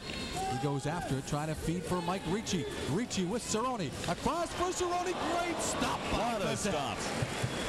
Excellent save by Stefan Fiset, anticipating all the way that the pass would come out in front. And when you put guys like Nolan and Ricci around the net, uh, you, you've got to expect something spectacular, and that's exactly what they had. Watch the play. Ricci off the boards. Nolan make that Cirone going right to the net and just deflects it. Doesn't stop the puck, doesn't try and shoot it on the go, just tries to deflect it, making sure it's accurate, and a great stop by Stefan Fiset. Quebec has relied heavily on its goaltending Boy, I guess they have. during the history of this All-Star Challenge Series. And another chance right there. Owen Nolan snapped one, and Stefan Fiset made the stop. Neither team has changed goaltenders yet, Fred. Uh, they're going with their starters. Fiset for Quebec and Fife for Ontario. And when you've got a one to nothing game going for you, I guess there's no reason to change, especially when you're not at an exhibition. Todd Bojcun's down there at the end of the bench, his head down, saying, now, if I come back from my overage year, Fife can't be back, so maybe I'll get a chance to play. Here comes LeBeau for Quebec. And across the blue line, trying to mesmerize Paul Holden. Ricci had his stick tied up. Alston grabs him, so Paul Holden says, I'll take it. Owen Nolan hits the blue line. Cirone can't do much with it. And back comes Andrew McKim. Ricci chops him down and will go to the box. We'll be back with a Quebec power play. You're watching the fifth annual All-Star Challenge live on Rogers Cable 11. The OHL QMJHL Challenge Cup is brought to you by the Parks and Recreation Department of the City of Cornwall. Do you want to start a hobby today? Special interest program registration is going on now for children and adults workshops and classes. Come start a new hobby today. For more information, please call the Arts and Culture Office at 932-4422. Third power, power play chance of the game for Quebec. Ontario leading 1-0. Mike Bodnarchuk power play marker from the first period still standing up. Boivin in across the blue line. Puck comes back to Brisebois. He moves up from the right side. Lehto in high with an elbow on Chartrand down in the corner. And Chartrand winds up on top of the puck for a face-off as Lindros gets involved now and kind of towers over the rest of that game. Yeah, he's he's in different atmospheric conditions up there compared to the rest of them. The weather forecast doesn't hold the same for him as it does for That's right. everybody else. Environment Canada has to issue a, a separate Yep. forecast for Lindros, although Mike Ricci is the only player with the Ontario All-Stars that was in the game last year and in fact was the most valuable player from Ontario last year and currently sitting out a penalty. Back to Brisebois with a drive, and that's kicked out by Fife. Although if you saw Mike Ricci in the Ontario dressing room last year, he wasn't too happy about winning that award. The type of competitor that he is. He wanted to win the game, and the personal stuff, well, if you get it, great, but winning's the thing. Pierce and DiPietro up front in the penalty killing role. Here's Chartrand dashing down the wing. Out in front for Willett and John Slaney tipped it just wide. Fired around the boards. DiPietro racing after it. Stefan Fiset with a gamble and it pays off. that was almost a two-line pass by Fiset, except that Pierce got a piece of it. Centered, cleared away by Fife. Loose in the corner. Bennett out in front. Slaney finds it, spots his opening and shoots it down the ice. Obviously, Fiset, a very, very good puck handling netminder. And Jeff Fife has certainly improved in that area too. Leaving it behind the net for Holden. He rockets it around the boards. 35 seconds left now in the Ricci minor. Herbert Hohenberger back to retrieve the puck. Hohenberger straight up the center ice track now. Lead pass for Reggie Savage. He stops. St. Amour's there. Tried to go top corner. Was wide and Jason Cirone will send it down the ice. I don't think Quebec has had more than one even halfway decent chance so far in this power play opportunity. Ontario has done a great job in their own end. Hohenberger gives it to Artner Bart on the wing. 78 didn't see it. And Ontario wheels and fires it into the neutral zone. Penalty to Ricci's over. Ontario back at full strength with the 1-0 lead preserved. Reggie Savage lets the puck go. Would have been a two-line pass, and he'll put the wheels on against Jason York, but it looks like they'll call it icing as it did cross the end red line. Four minutes, 30 seconds to go now in this second period. Mike Bodnarchuk with the lone goal of the game. It came in the first period at the 15:59 mark from Chris Snell and Joni Lehto. Quite a contrast from the first time these two teams met in 1986 in Ottawa, the first of a two-game set with the next night in Hull being the other venue. 15 goals. Yep, 11-5, make that 11-4 Quebec that night. And the next night they followed up with 11 goals, although it was a one-goal uh, difference. Quebec beating Ontario 6-5. The lowest scoring game came in 1988 in Hamilton, a 4-2 Quebec verdict. Notice a pattern in all of that. Quebec's won them all. It's a pattern that Gilles Courteau is quite happy with. Brad May wheels and fires, and that catches Fiset high. Brisebois for Alston. He's joined by LeBeau and Kim. Alston wide right, trying to test fight from long range. Shot nowhere near the net as it was deflected. And big Keith Primeau lumbers down the wing, swings into the slot, forced to the far side boards. Lehto steps up as there was a big crunching hit there thrown by Francois Leroux. Scramble out in front, cleared away, comes back to Snell. Rice shoots from an angle. That's why Lehto steps up from the left point position. LaRue in collision with May in the corner. Brad May trying to kick it free. McKim has him tied up. LaRue escapes with the puck. Down the left side as Rice took a run at Brisebois. Here's Patrick LeBeau and across the Ontario blue line. Walking right into Olsen. Swings wide. Great stop by Fife. What a save by Jeff Fife to keep Ontario ahead. Well, Alston was so frustrated he bent his stick in half. Boy, what a save by Jeff Fife. If we could see it again, you're going to see some concentration on the part of a goaltender. This is the key to success. Now, it takes a bad bounce right in to Alston, right there. Watch this. Fife knew where he was going. He just followed him and the puck and just went down and stopped it. Made sure there was no rebound. And that has been the story of the game at both ends of the rink so far. Dykhuis back deep for Quebec. Off the boards. Gets past Bennett. LaRouche chases Slaney. Slaney rings it around the left side for fellow Cornwall Royal Cirone. Into the center ice area. Quebec drops it back off as Ricci took a run at Boivin. Quebec dumps it in again. Slaney just gets rid of it into the neutral zone. Hohenberger returns the favor. And Adam Bennett of the Sudbury Wolves will try to get Ontario organized. Around in the wing for Cirone. He's met quickly. They jam away at it. Ricci, who did he hit? LaRouche. LaRouche has got the puck, though, from the right side across for Chartrand. Got past him. Fife dives out.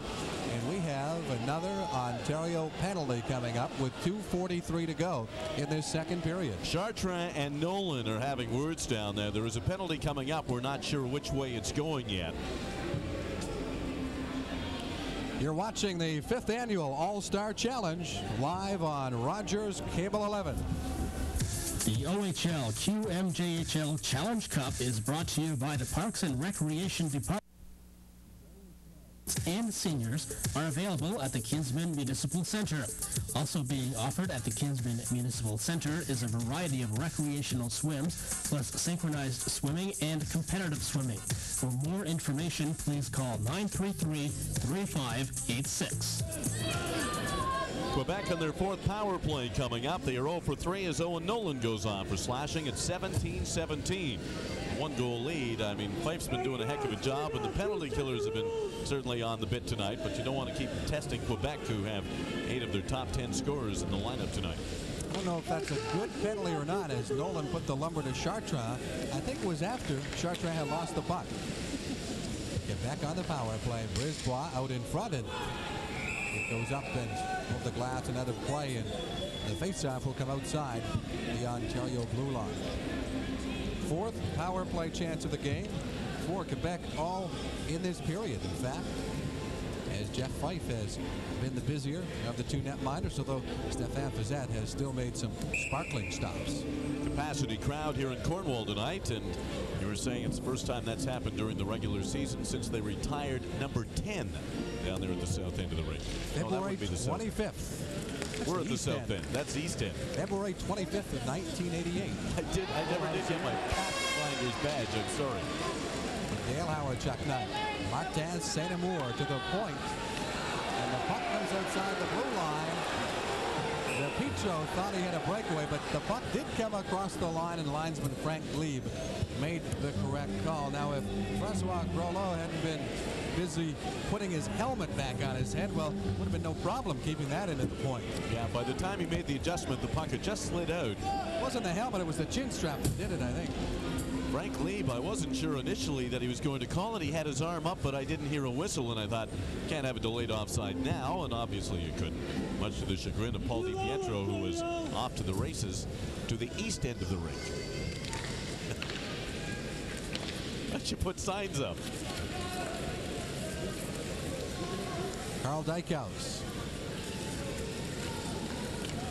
On the right side for Alston. Alston will contend with Lehto. Curls, sends it to the point to Brisebois. Back for Alston. Alston handling.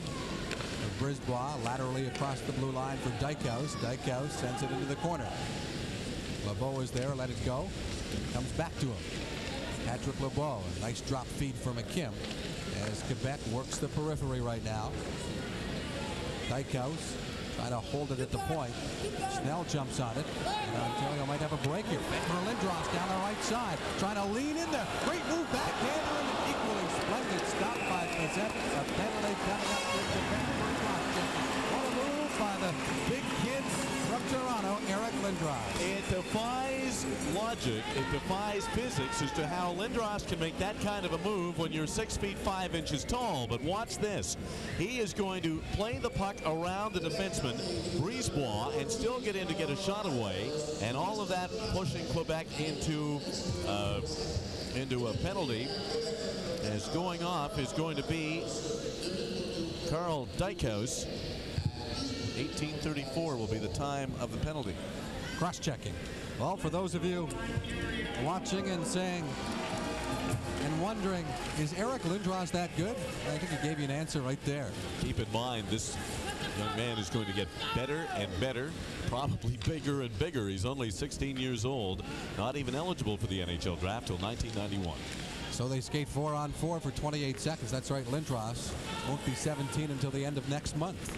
Get him a birthday card, I will. get him a present. Not stretching it. Okay. Only met him once. Steve Chartrand around John Slaney, but Adam Bennett helps out. Chartrand ducked the check. And taking off with the puck is John Slaney. Ran into his own man Ricci. Bennett gives it back to Slaney down the left side. He'll just dump it in. Nolan's under the box, and Ontario back in a power play. Ricci behind the net. He's blocked out. Knocks down Leroux. Leroux up with the puck. It went off Ricci and Stefan Fiset comes out to cover and exchanges pleasantries with his former national junior teammates. Guy Stefan Chouinard Fiset. Can't be very happy just by virtue of the fact not just taking the penalty, but it's the second time in the game that Quebec has taken a penalty while they were on the power play. So their power play is showing an 0 for 4, but two of those occasions interrupted as Quebec went off. Ontario is 1 for 2 with the man advantage, and with a minute and six left in the penalty to Dykhuis. However, the period clock will be more a problem for Ontario. Just 32 seconds left in the second period. DiPietro, Berg, and Pearson up front now for Ontario. Or Bodnarchuk is the other winger. Puck sent back to the point to Snell. Snell for Lehto. One timer off a stick wide to Petro from the angle, and Fiset recovers magnificently. Andrew McKim the other way with Reggie Savage. McKim trying to turn Snell inside out. Look at the puck handling clinic here being staged by Andrew McKim. Clinic He over. Still has it down there as finally Bob Berg knocked him off the puck with four seconds left in the period. Andrew McKim gets a well-deserved round of applause from the Quebec faithful here. And there was a busload down from Hull today. Cheer on the Olympics in this game. Herbert Hohenberger and Andrew McKim and Karl Dykhuis. A goaltender's duel so far. And Dick Todd yelling some instructions. Actually, it looked more like he was yelling at the Quebec player. I don't know if he was giving Jan Alston a, a earful or what there. It's just a fun game, Jack. And the oh, second period is over. as the fun continues. 70A and Lehto mixed up, and we've got a gathering of the clan down there in front of the Ontario net. There was a fight in last year's game.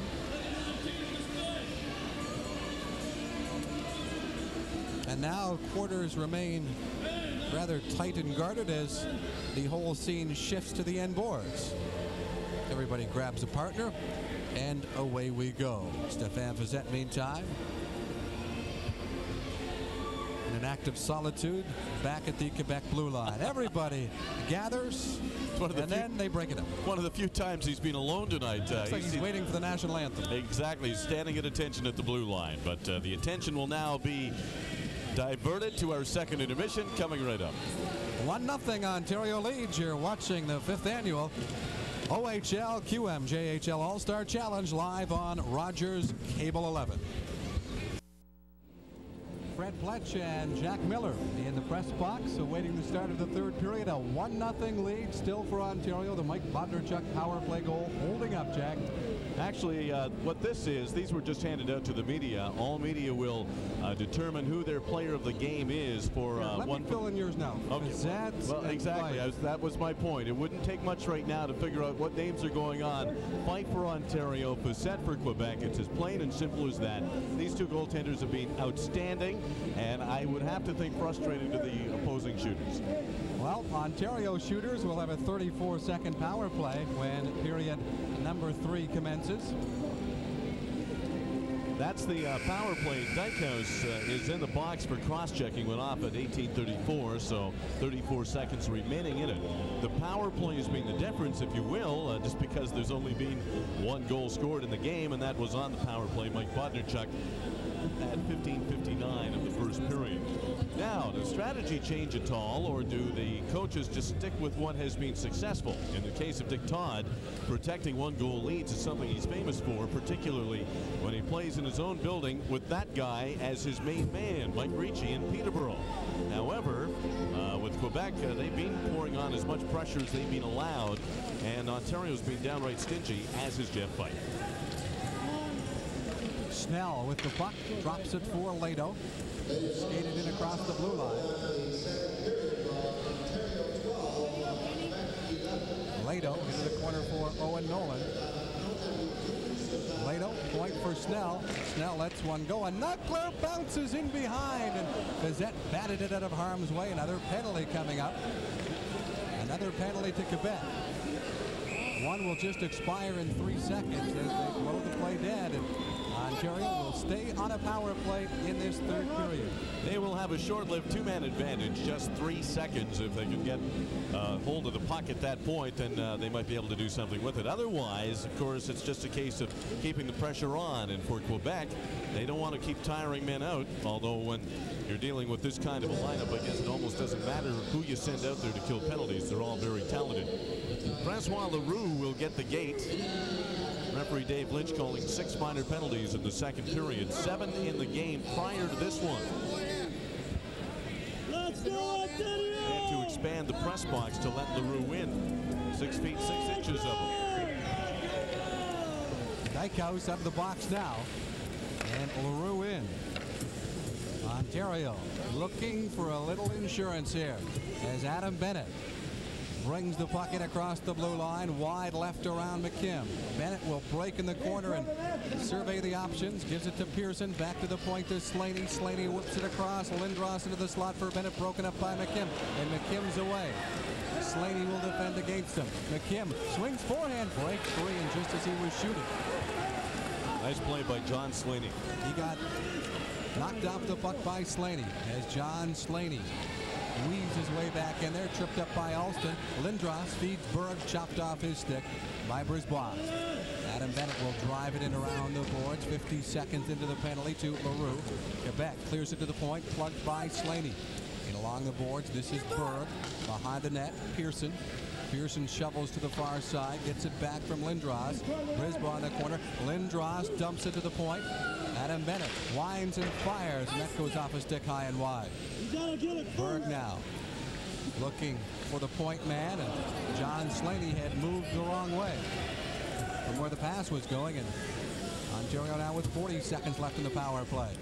Lead pass, missed Berg. Bodnarchuk races after it, circled the net, and he centered it short side. It was picked off there and then goes off the stick of Snell. Up and out of play. Well, while we have a chance, Jack, we want to take this opportunity to pass along a message from number 10 for Ontario, Brad May of the Niagara Falls Thunder, a message to his grandfather back in Markham. Mr. Andy Kerr and Brad May says simply, this game is for you, Grandpa. Very nice sentiment. Paul DiPietro. Now with Bodnarchuk and Pierce, 30 seconds left in the penalty to Francois Leroux. Puck dumped in by Ontario. Hohenberger can't get it out, but Reggie Savage will do the, the job. Savage invited to the national junior team training camp this year. That ruffled a few feathers in the Quebec League. Paul DiPietro trying to dance his way in there. His path blocked by that Quebec defense. And Leroux's out of the box. And Quebec has dodged an OHL power play bullet. Comes Bodnarchuk down the right wing. Runs into Dykhuis. Hohenberger snaps the puck around the boards. No icing, says linesman Steve Qualian as Joni Lehto the Ottawa 67s via Turku, Finland. Ahead for Stephen Rice. Rolls off his stick. He goes to the end boards with Hohenberger. Quick centering feed. Loose there to Petro swept in. Brad May tried to turn around her. And Willett feeds for St. Amour. They get past Holden. But they overskate the puck to Willett and St. Amour. And Ontario dumps it back the other way. Groleau has to wait for Mates to get onside. He clears it in. Holden with Willett right on him. Berg is hit. He fed it ahead for DiPietro.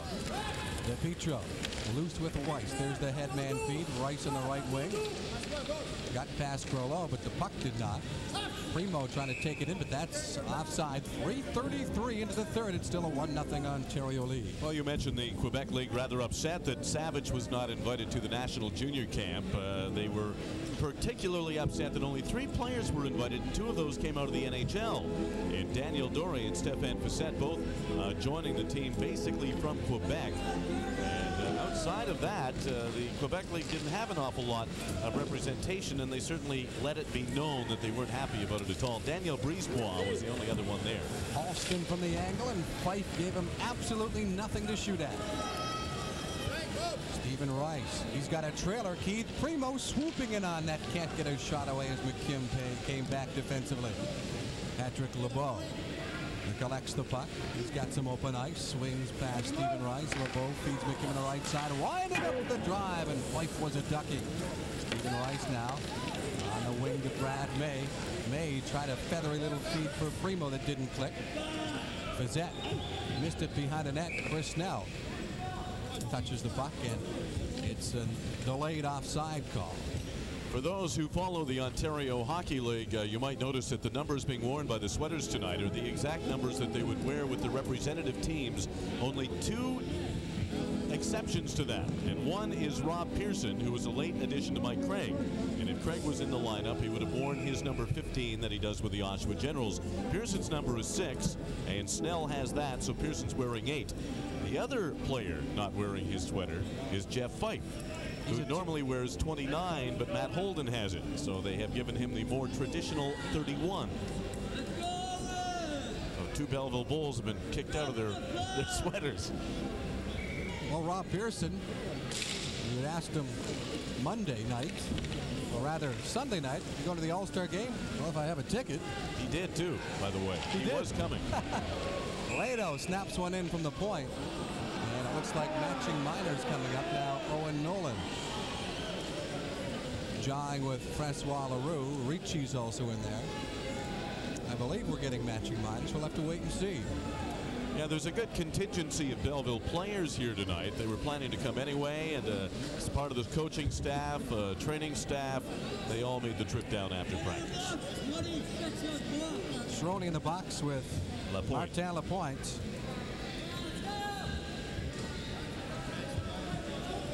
So they will not go by the Ontario rules with a four on four. They will stay at five on five. 426 will be the time of these penalties.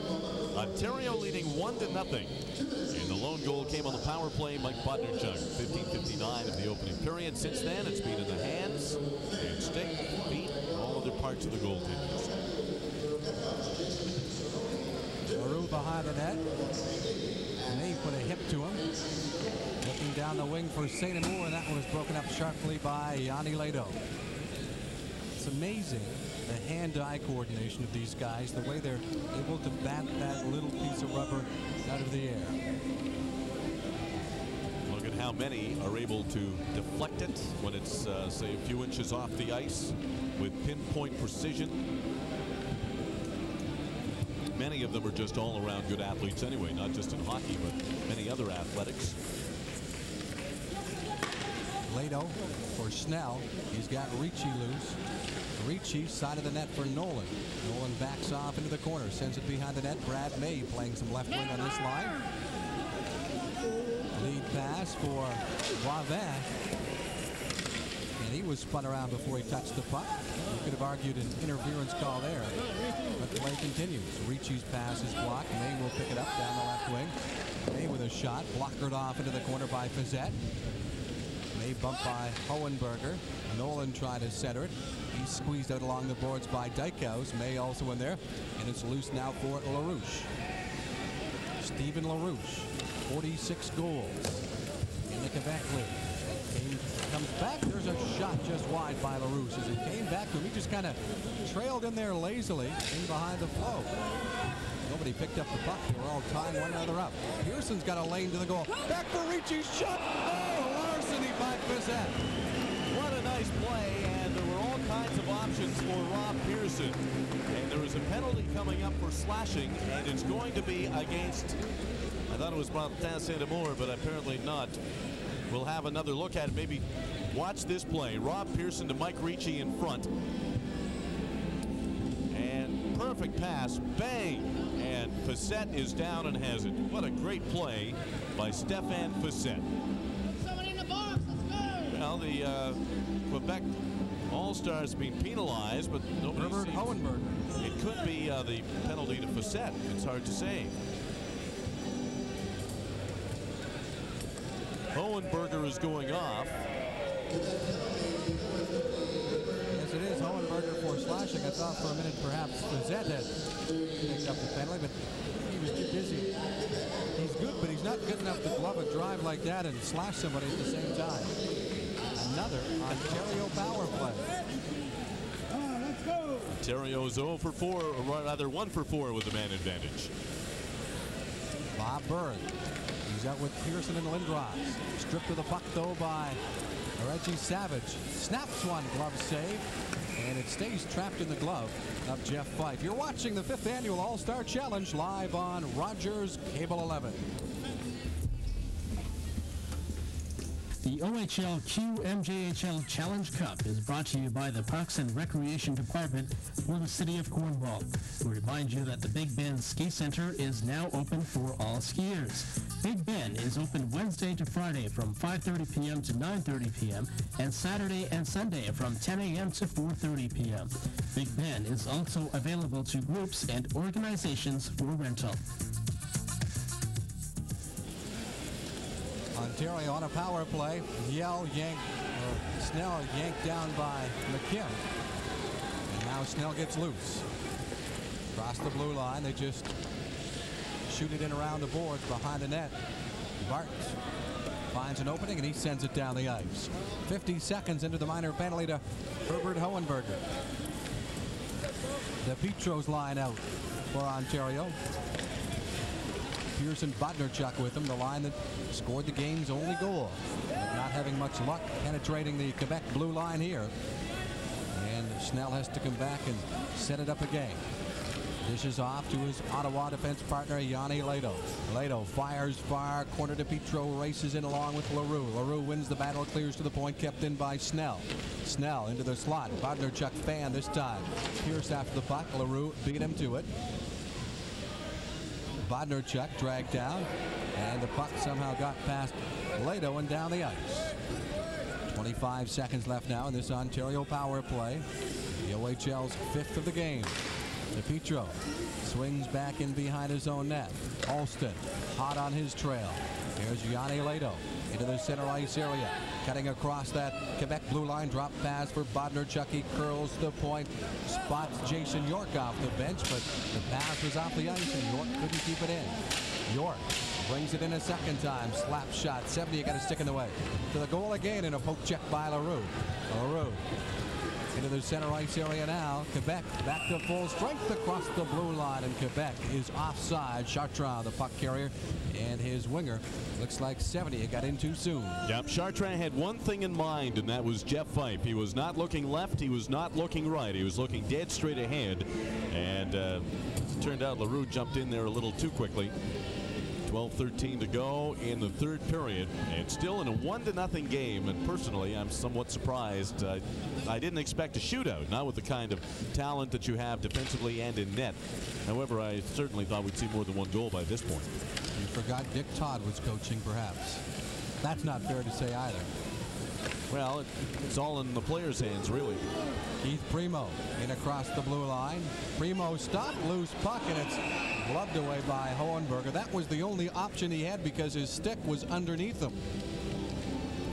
Yeah, I don't know if uh, if players just suddenly settle into one coach's system inside of 24 hours or not, no. but let's face it, we're dealing with very talented hockey players who. Well, Dick had stressed the defensive part of the game in the lone workout the players had together, but I think that's because of the fact he knows all these guys are offensive fire houses themselves. But again, plus minus wise, and I don't have the figures in front of me, I'll bet you Ontario, almost everybody on the ice is at least a plus of some sort.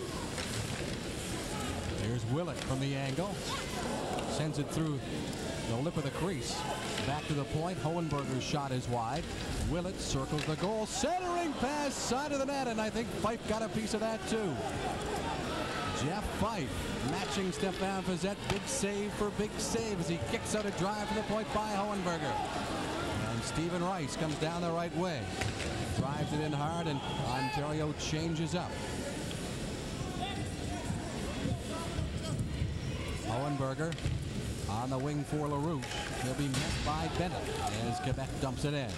Nearing the nine-minute mark of the third period. It's a 1-0 Ontario lead.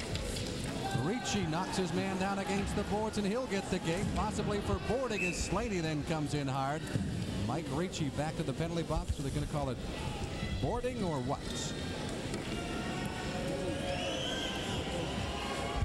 Yeah, we'll wait for the indication. It is going to be cross-checking against Mike Ricci at 9.07. So Quebec go back to the power play for the fifth time in the game, and they have an 0 for going. Just coming back to uh, what we were talking about a few minutes ago. In terms of leading scorers, if you look at the top 10 in the OHL, five of them are not in this game five of the top 10 are. So those that are here aren't just offensive-minded players. For instance, Darcy Cahill, who you know well, and uh, certainly very, very good around the net. Lots of points, but he is he's a minus. He is a big minus. So in other words, his game isn't equal. It, he's a good offensive player, but not good at his own end. That's uh, the, the toughest position to, to break into an all-star lineup. I think we've seen that year after year in the NHL, the center ice position. Cahill and Brett Seguin, who's third in scoring, both centermen. Quebec trying to jam it in front of this power play. Andrew McKim brings it into the corner. Groleau with a shot from the point. Fife kicked out the right pad and skate. LeBeau after Cirone far side boards. McKim digging for it as well. And finally Ontario clears it out of the zone. Sent to an open wing and Jan Alston comes back for it. Alston Swings around Randy Pierce. Crosses the blue line. Stopped and Jason Cirone will spot his opening and shoot it down the ice. Stefan Fiset plays the puck right to Pierce. Quick shot and it was just wide. The opportunistic Randy Pierce. Five shorthanded goals and that would have been his biggest one of the year. McKim brings it back in across the blue line. McKim moves to the far side into the corner. Jason York will pick it up. No, he's tied up. Holden knocks it to a free area. He shoots it, and he's got the feature. One-on-one against Brisebois. Tough man to go against one-on-one. -on -one. And Brisebois effectively does the job to knock it back into the corner. 78 with St. Amour. McKim still out there and across the blue line. Winding up with a shot. He scores, but it's offside. Whistle had already gone. The Quebec player was pushed offside. And I think as soon as the whistle went, Fife heard it and he relaxed. And the goal will not count. You're watching the fifth annual All-Star Challenge live on Rogers Cable 11. The OHL QMJHL Challenge Cup is brought to you by the Parks and Recreation Department for the City of Cornwall, who offers sleigh rides, public skating, and cross-country skiing at Guindon Park every Sunday from 12 noon until 4 p.m. The Parks and Recreation Department reminds you to use your leisure time wisely.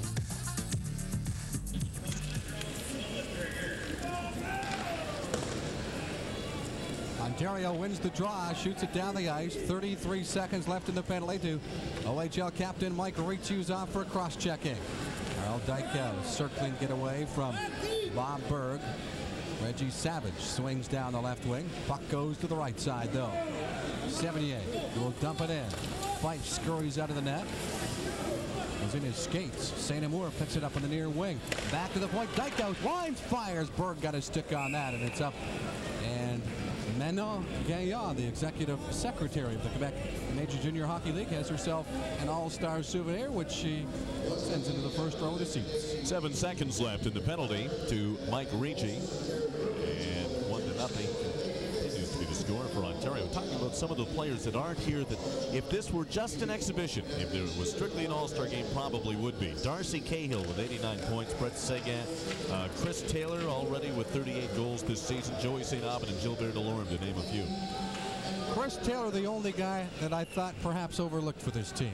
Left wing position, but again, Brad May has certainly acquitted himself well tonight. Adam Bennett digs the puck out from behind the net, reaches out of the box. Rice looking down the left side for Berg. Hohenberger back behind the net. Lindros with a steal. Slot for Slaney and it jumps over his stick. Adam Bennett has to chase after the rolling puck. He just gets rid of it. Pass to Dykhuis. Hohenberger behind his own net. Can't get it out. Brad May fakes. Sends it in behind the net. Primeau is there. Primeau looking to center. John Slaney steps up and the shot is nowhere near the net. Snell, right point. Just bangs it in back of the goal. Brad May has it poked away, gets it back. Primeau with the big long reach behind the net. Fed to the point for Snell. His wrist shot. And that sails just wide. Rice now keeping it away from Willett, centering feed. Comes back to Snell at the right point. Snell into the corner for Rice. He let it go for May. May quarters close against Hohenberger. Centers it, and it goes to Willett. Willett gives it to St. Amour. Martin St. Amour can't get around Snell. And here is Sevenier, met by Brad May.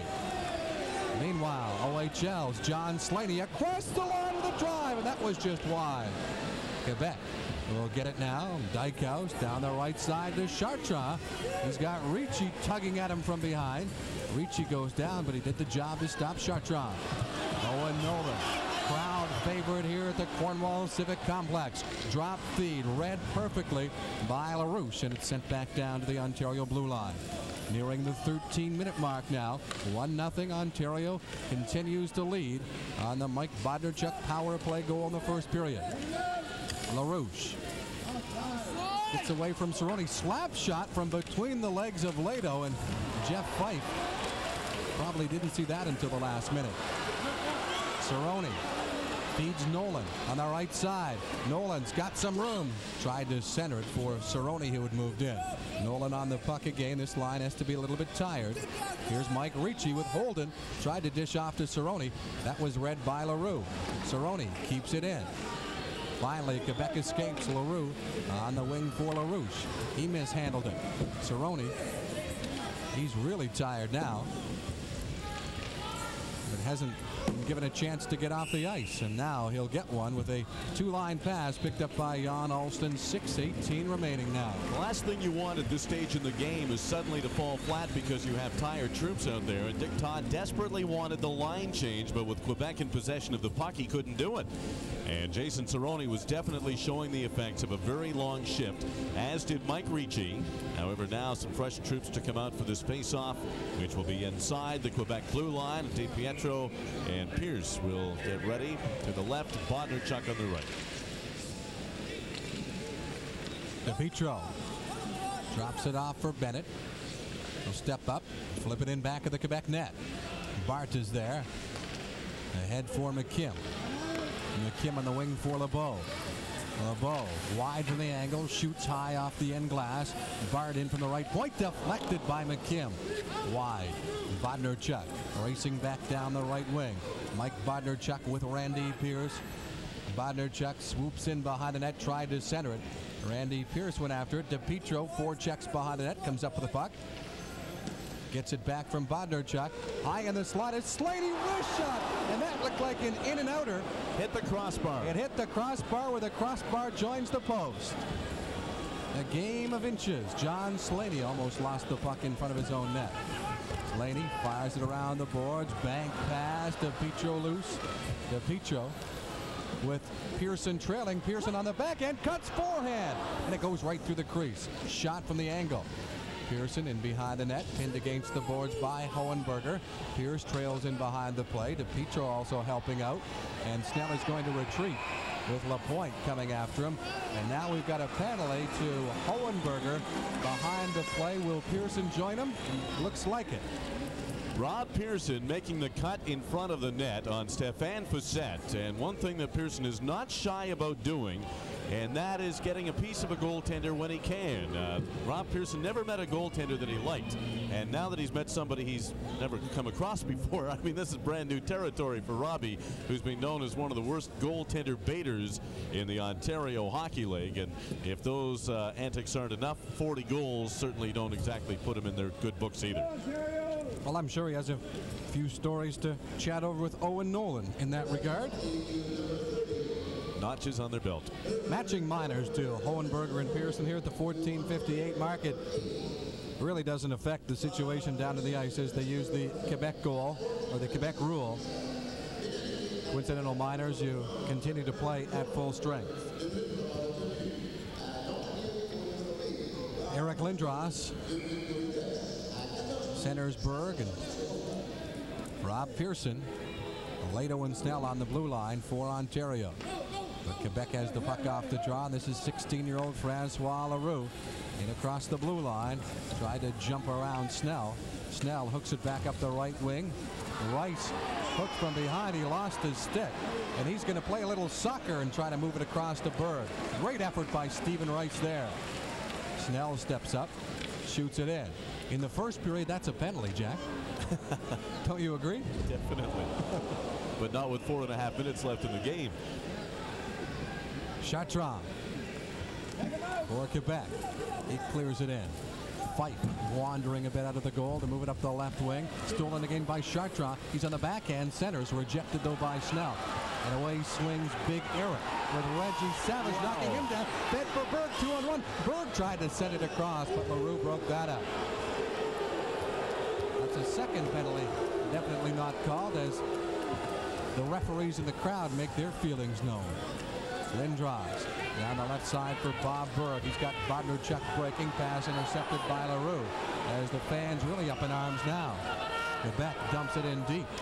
Holden in back of the goal, and it's icing against Quebec. Boy, oh boy, Eric Lindros was yanked down by Reggie Savage in the center ice area, but no penalty. You are watching the fifth annual All-Star Challenge live on Rogers Cable 11. The OHL QMJHL Challenge Cup is brought to you by the Parks and Recreation Department for the City of Cornwall, who are offering a unique program at the Kinsman Municipal Center. Kids Crafts Parents Splash gives toddlers one hour of crafts, storytelling, and exercise while mom or dad swim free. Register now at the Kinsman Municipal Center from the point by Jason York. Kicked out with authority by Fiset. Here's St. Amour banking it ahead. For Boivin. Fight out of the net. Boivin with it again. Centered. And it looked like a football machine down there off a skate and a stick. And Jeff Fife's gear as well. Claude Bart back deep for Quebec. Three minutes, 25 seconds to go. I don't know whether to say regulation time or not.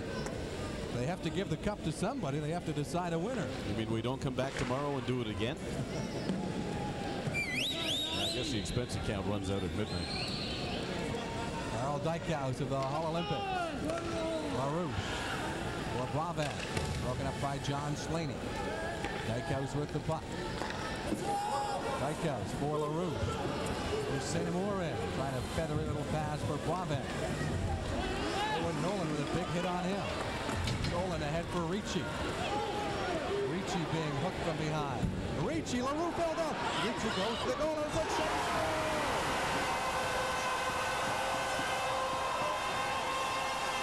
Mike Ricci coming up with the insurance Ontario has so badly wanted but couldn't get. And what a job, what a display coming in off the right wing boards and just muscled his way in front of the net. Fiset gave him a corner. Now watch the play. Owen Nolan has it developed to Ricci. They're still working. Now, in this particular shot, Leroux looks like he's got Ricci contained, but then he falls down. There's the wide open corner, and there's a player down with Fiset, and Ontario takes a 2 to nothing lead with 2.41 left in the third period. And that will certainly lead to a relaxation of Jeff who has certainly been up to the challenge of Quebec in the third period. You don't hear Mike Ricci cheered in this building very often. Wait till the next name is announced, and you'll hear a big roar. Owen Nolan who dug the puck out of the corner deep in Ontario territory. The faceoff, Ontario dumped it in the game. McKim to the line. Berg will handle it. Just send it the other way. Leroux, who's wearing some goat horns out there now. Clearing it in. Snell sends it the other way. Two minutes, 20 seconds to go. Mike Ricci has just given Ontario a huge goal. Pearson in the corner, pinned against the boards by Brisebois. They continue to battle for it. Looks like Brisebois is riding the bucking Bronco down there. McKim flung around, able to hook it into the center ice area. Shot right back in by Lehto. And Leroux gives it away to Pearson. Will Eric Lindros ever hammer Francois Leroux after Leroux dumped the puck up the wing boards? Here comes Brisebois with Bob Berg digging at him from behind. Ontario back checkers and four checkers playing like they are possessed right now. Here's DiPietro with his steal. Sends it across. Pierce on the backhand. He can't handle it. Pierce centers it again. Bodnarchuk tried to drive it. Reggie Savage got in the way. Less than 90 seconds to go now. As Charron brings it in. Paul Holden trying to cover him behind the net for Savage. Savage with Holden trying to contain two Quebec skaters in behind the net. Savage trying to wrap it out in front. It goes empty net, slap shot. That's it. Paul Holden with the empty netter. 160 foot shot down into the empty net. He put something on it to make it a 3 to nothing Ontario advantage after Fiset had been pulled in favor of the extra attacker. And at 1852, Ontario can close the cover on this one except for one thing. And I'm sure that's riding on Jeff Fife's mind. You're not right going now. to mention it? Nope. Little superstitious, are you, Jack? A whole bunch. Paul Holden.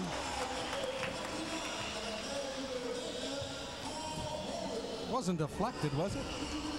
They gave the goal to somebody else, but it was in fact Paul Holden who is being congratulated with the high fives down there. One minute and eight seconds remaining. Stefan Fiset returns to the Quebec goal. And Ontario is going to win the All-Star Challenge for just the second time. Brad May out there didn't want to put himself offside. May runs into Groleau. Here's Stephen Rice trying to muck his way to the goal. That's a wrist shot go. Held by Fiset. And he'll hang on to it for a face-off to his left with less than a minute to go now. 48 seconds.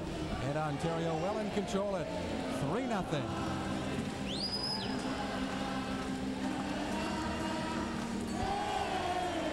Forty-eight seconds left, and the mission right now is to keep Jeff Fife's shutout intact. I know I shouldn't have said it. Oh, way to go. All right, well, listen, if they score, The redhead will kill it. you if they score, I'll tell them. Off the face-off, a shot by Brad May, kicked out by Fiset. As the Steam song just played.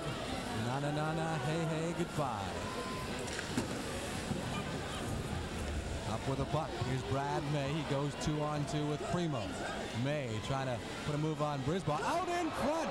Shot by Primeau, and Fiset has to make another stop as they play for pride now, trying to keep the score down, but it's all Ontario.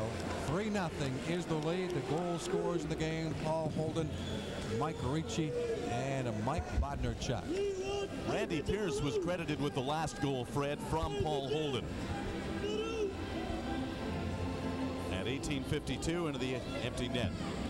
So the Kitchener Rangers represented on the scoreboard along with London. Slap shot from the point, stick save. Rebound lies loose in front. Hohenberger kicks it. Nolan picks it up. Snell gives it back to Nolan. 14 seconds left now. Lehto with a shot. That's cleared away by Fiset. Nolan with it again. He'll feed the same point man. Lehto broke his stick this time. Three seconds left now. McKim kills the clock. And Ontario has won the Chrysler Challenge Cup by virtue of a 3-0 victory over the Quebec Major Junior Hockey League All-Stars before a sold-out Cornwall Civic Complex crowd. We'll be back with the medal ceremony presentations and also the presentation of the Chrysler Cup. You're watching the fifth annual All-Star Challenge live on Rogers Cable 11. The OHL QMJHL Challenge Cup is brought to you by the Parks and Recreation Department for the City of Cornwall. Do you want to start a hobby today? Special interest program registration is going on now for children and adults workshops and classes. Come start a new hobby today. For more information, please call the Arts and Culture Office at 932-4422. Well, in just a moment, we'll be going down to ice level for all the ceremonies, the presentation of the Chrysler Challenge Cup, and also the photographers will get their film-loaded jack as we look at Jeff Fife, the shutout netminder tonight, but Gilles Courteau has to break out his Ontario Hockey League sweater. He sure does, and that'll make Dave Branch feel pretty good, but he's got to feel good no matter what. Ontario gave a demonstration, and Quebec did the same thing. Keep in mind, this was a one to nothing game until there was less than three minutes left in the third period. But I was most impressed, not only with the goaltending of Jeff Fife, but of the forechecking of Ontario. When Quebec would get across the line, their options were very minimal. And the thing is, as in both cases, first shot on net, there wouldn't be a second because the defenders were there to clear the zone, or at least away from harm's way. And Ontario just did a tremendous job. Jeff Fife had great support tonight. And when you don't see a game that has 72 shots on net in total, ending up with just three goals, one into an empty net, Ontario ended up outshooting Quebec 41 to 31 in the contest. And that's something. 11-8 in the third period for Ontario. There were 14 minor penalties called by referee Dave Lynch, seven aside. And the power play, really the difference. The winning goal came on the power play at 15:59 of the first period by Mike Bodnarchuk. As the Chrysler Cup is rolled out, and I think that fellow right there will be in for some major recognition, Jeff Fife, and Stefan Fiset as well. Well, you look at the history of the All-Star Challenge game, and certainly Quebec goalies have been prominent in Quebec Player of the Game awards, winning it a total of two times, but an Ontario goalie has never been the player of the game. I think that is about to change tonight as they bring out the representatives of Chrysler Canada and Molson Ontario Breweries. We will now join the words of PA announcer Yvonne Lemire for the presentation of the Chrysler Cup.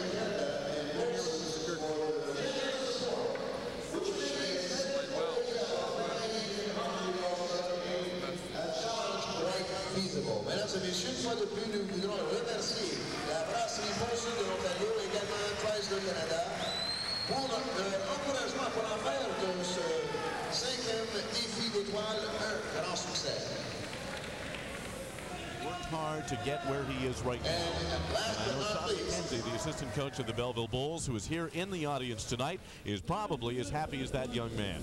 Well, we talked about that right off the top. Could Jeff Fife match the net minding of Stefan Fiset?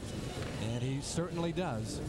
Throwing a goose egg up at the best weaponry that the Quebec Major Hockey ironically, anytime you read anything about this game in, uh, say, the Standard-Freeholder lately or whatnot, all the talk goaltender-wise in Ontario was on Todd Bojcun. I really did not see an awful lot about Jeff Fife whatsoever. And then getting the start and ending up uh, coming up with the game that he did uh, certainly will put his name front and center where it belongs. The Ontario captain Mike Ricci accepting the Chrysler Cup for only the second time.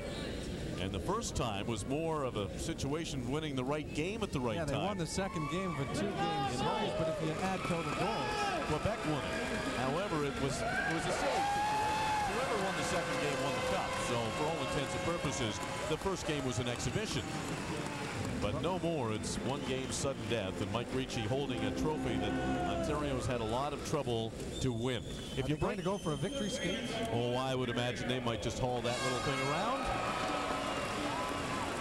If you break down the three junior hockey leagues, uh, the West, Quebec, and in Ontario, the West has dominated the Memorial Cup in recent years. Quebec has dominated the Challenge Cup in recent years, and Ontario dominates the draft. Being uh, rather greedy about all of this, Ontario wanted to show off their best. It's always been felt that if you took the top 20 from Quebec, top 20 from Ontario, that you are going to have an even Steven matchup. You're going to have equal talent. But once you get beyond that 20, the general feeling is right or wrong. The general feeling is that the depth is in Ontario. Well, we're matching the top 20, and you saw a very close game out there. One to nothing until Ricci scored, only because Leroux happened to fall down. Otherwise, it's one to nothing right down to the end. No question about that. Well, in past years, when it came time to choose the OHL All-Star team, they'd look at the two most recent NHL drafts, take the top 20 picks. Away you go. You're on the All-Star team, boys. And I've heard the, the talk that there were too many fat cats showing up Ontario in the All-Star game. They changed it around this year, and they took many, many undrafted players. They went with guys who thought would do the job for them in a one-game situation. And uh, the selection committee of head coach Dick Todd, Sam McMaster of the Sudbury Wolves, and Dave Draper of the Dukes of Hamilton, well, they come up aces. They did that, and that's the first time they have taken that approach. In the past, the coaches in general have voted for the team, but now this game had a specific purpose requiring specific kinds of players. Although I take 20 of those any day of the week, Mike Ricci, uh, let's face facts. Tonight, showing why he is the captain. Give him an inch, he'll take it all. And Jeff Fife right behind him, and there's Rob Pearson, Joni Lehto in behind him as uh, they get set to go off and enjoy what has been a sweet victory. But first, Ontario will pose for the pictures. So this is the thing. They end up they end up getting away from the all-star idea, East versus West or whatever. Uh, forget that. If they're going to have an all-star team, it's going to be at the end of the year. In the meantime, they have a one-game purpose, and they, they drafted it, if you will, accordingly. Well, what do we do next? Uh, bring in the West All-Star team, make it a round robin, a, a little showcase for uh, uh, perhaps a, a network TV deal, Jack. Well, I think that's already in the works from what I understand. They talk about getting uh, Quebec, the West, and Ontario together in a round robin format and possibly even bring in, say, the Soviet national junior team uh, or a club team from over there. So these things are already getting kicked around when you have this kind of a, of a show and you have a sellout crowd as we do in Cornwall tonight of about 4,000 people. And if you're going to get that kind of response, why not make it bigger? Why not make it better? And let's face facts, uh, we don't get to see the Western Hockey League except on rare occasion, and I would love to see uh, some of the names that uh, we hear bandied around uh, out there to come here and play us, or we go there and play them. Bosses don't want to hear us say that.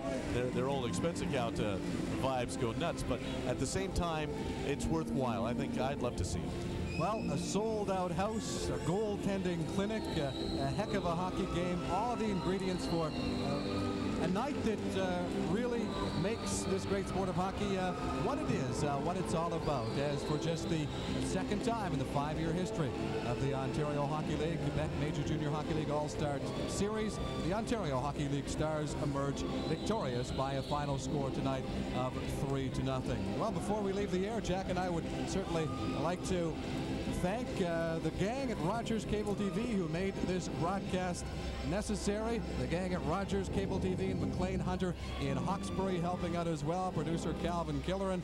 And for our host down at ringside, Wayne Thompson. For Jack Miller, this is Fred Pletz bidding you a pleasant good evening from the Cornwall Civic Complex. The OHL Challenge is brought to you in part by the Parks and Recreation Department for the City of Cornwall. The Parks and Recreation Department reminds you to use your leisure time wisely by using the many services offered, including two indoor ice rinks located at the Bob Turner Center and the Water Street Arena, plus several locations for outdoor skating, including Guindon Park and Archie. The Kinsman Municipal Center offers citizens an indoor swimming pool plus a gymnasium, weight room, sauna, and judo room. The city has eight large outdoor swimming pools with wading pools for toddlers. There are several activities to enjoy during the summer months. The city has 39 playground parks, 11 softball diamonds, 7 outdoor tennis courts, 3 football fields, and also the bicycle path along the St. Lawrence River and at the waterfront, the Cornwall Lions Club Bandshell and Marina 200. Come out and enjoy the many diverse programs and activities offered by your Parks and Recreation Department. For more information, please call 932-4422 or 933-3586. Spend your leisure time wisely. While in Cornwall, the crew and teams involved in the OHL QMJHL Challenge Cup stayed at Cornwall's Holiday Inn, conveniently located at 805 Brookdale Avenue near the Seaway International Bridge. The Holiday Inn offers travelers recreational facilities such as indoor swimming, sauna, whirlpool, and exercise room. Fine dining can be found in the dining room and at the end of a busy day, relax in the cocktail lounge. Holiday Inn also offers a convention and meeting facility for up to 300 people and special meeting room packages for convention delegates. For more information and reservations, call 1-800-HOLIDAY or contact the Cornwall Holiday Inn at area code 613-933-8000.